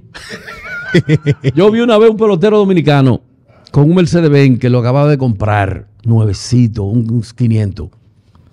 Y en la Duarte, en, un ma- en la esquina de Madonna, me encuentro al chofer de él, que era un tipo joven, con los pies por encima del coso, así por encima de la puerta. Y le digo, dime, ¿ya está fulano? Me dice, durmiendo en su casa. Digo, y tú en el carro, en el carro del figurando. Dice, Dice, ¿qué voy a hacer? Digo, no, mi hermano, mi carro no lo va a manejar nadie. Yo manejo yo. Y yo confío en mí, yo manejando. ¿Entiendes? Y los fines de semana, entonces usted se va solo, tranquilo, coge carretera, va para allá. Si no hay sobol, me voy para la finca tranquilo. a- se me siento allá, hacer lo que tenga que hacer con los empleados allá, matar mi porquito, comer chicharrón, cocinar. Y su, sí, su típico, su bachata. Tengo una bocina ahí que la subo ahí, a veces la pongo ahí, a veces no. Pero 3 mil no dan, 3 mil dólares no, No, dan. 3 mil dólares no dan, mi hermano. Pues si tú tienes que mantener una casa y tú eres que la va a pagar, piensa, no te van a dar nunca en la vida. Es verdad.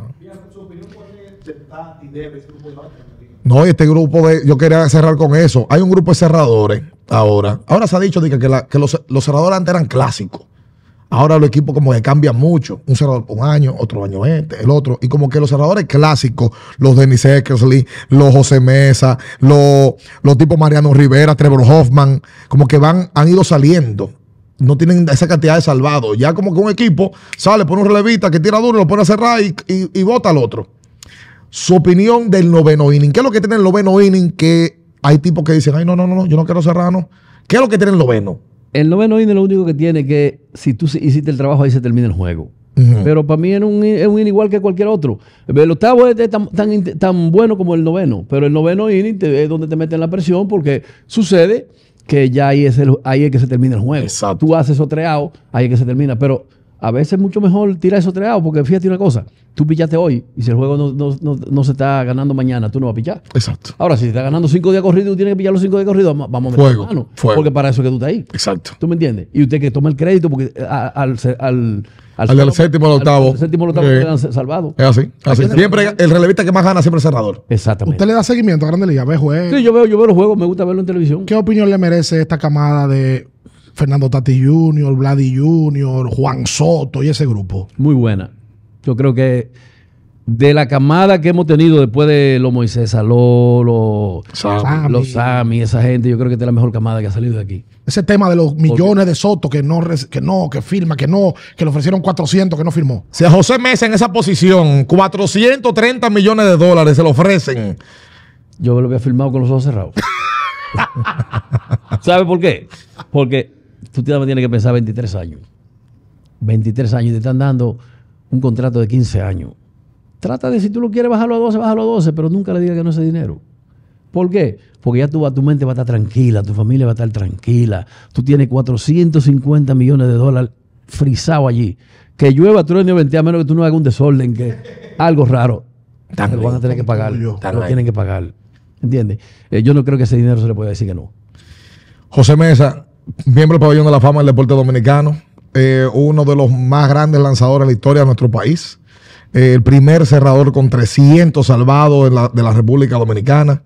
Eh, yo creo que es una gran historia.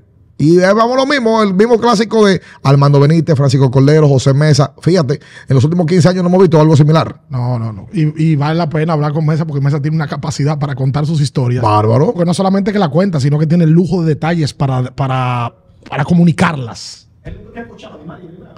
No, no, no, no, no, no está encochada ni, ni nada de eso. No, tú sabes qué pasa. Mira qué pasa. Si tú te ponías a cochar a estos muchachitos de ahora que le están dando tanto dinero, ¿tú me entiendes? Entonces, no hay respeto. Eso es lo que no me gusta. El cochar no, no, no es nada, pero que, que no hay respeto en el béisbol. Porque fíjate, antes tú, cualquier pelotero de eso que tú veías cuando yo filmé, que te decía a ti, fulano esto, tú les ponías atención. Yo recuerdo que Ande Epi, quien iba dando la práctica a nosotros era Mario Guerrero, Difu- el difunto que murió. Pa' hace descanse. Así es. Mario Guerrero nos daba la práctica a nosotros, que Epi lo ponía que nos ponía a correr. Y, y Mario nos daba un, un ray a nosotros de allá del complejo para acá, para Santo Domingo. Y eso era un respeto que no le tenía ese señor. Eran otra ¿Tú época. me entiendes? Ahora tú, un muchachito de esto, tú le dices una cosa y lo que dice, mira, este, tal vez eso ni lo hacía él cuando él, cuando él jugaba. ¿Tú me entiendes? Se ha perdido un poquito de eso. eh, se ha perdido el respeto. Yo, yo apenas cocho al hijo mío. Está sano, además. Oye, Sí, Mesa, Mesa está, está muy sano. Yo apenas cocho al hijo mío. Al- a, a- a Mesa Junior. A Mesa Junior. Él y yo siempre estamos ahí en el patio cuando él quiere tirar que no quiere salir, o vamos a la orilla del botánico, vamos a, cualquier play de eso. Y ese No, brazo, ese, ese- ese- ese no es mi hijo, ese es mi hermano. su hijo. sí. Mira qué, boni- qué bonita relación. También. Mira qué bonita relación. Ese tipo, no. El brazo está ready todavía, Mesa. Yo, claro. Pues yo, pues yo soy centerfield de sobol, mi hermano. Oh, para jugar centerfield esa bola hay que tirar. Oh, está bien. Que vea, que haga mesa, de verdad.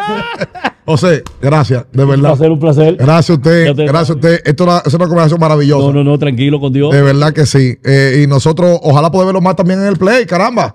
¿Tú sabes, tú sabes que a mí no me gusta ir al play a ver juegos. Ah, ¿cómo así? ¿Y por qué? Yo no sé por qué. A mí me gusta verlo en televisión mejor. Y puja el Licey. Claro. No, yo soy liceísta de nacimiento. A veces sabía que no le Yo gusta, soy liceísta de a nacimiento. veces sabía que no le gusta fuñir mucho con gente. Que también No. Tranquilo en su casa. No, tú sabes que soy medio tímido. A mí me gusta estar tranquilo. Salió el papá. Depende, mucha gente no me gusta inventar. Pero usted salió tímido como su papá o. o- El papá tuvo No, 25. No, no, no, tú sabes que yo, fuera de Chelcha, yo cuando andé mucha gente no me gusta ir. Ah, mira. Me invitan, yo voy, no hay problema, pero, sabes, Y en su esquina. en, en mi esquina, mire, medio medido. Eso está bien. Una estrella. Gracias, José. Gracias a usted. Gracias.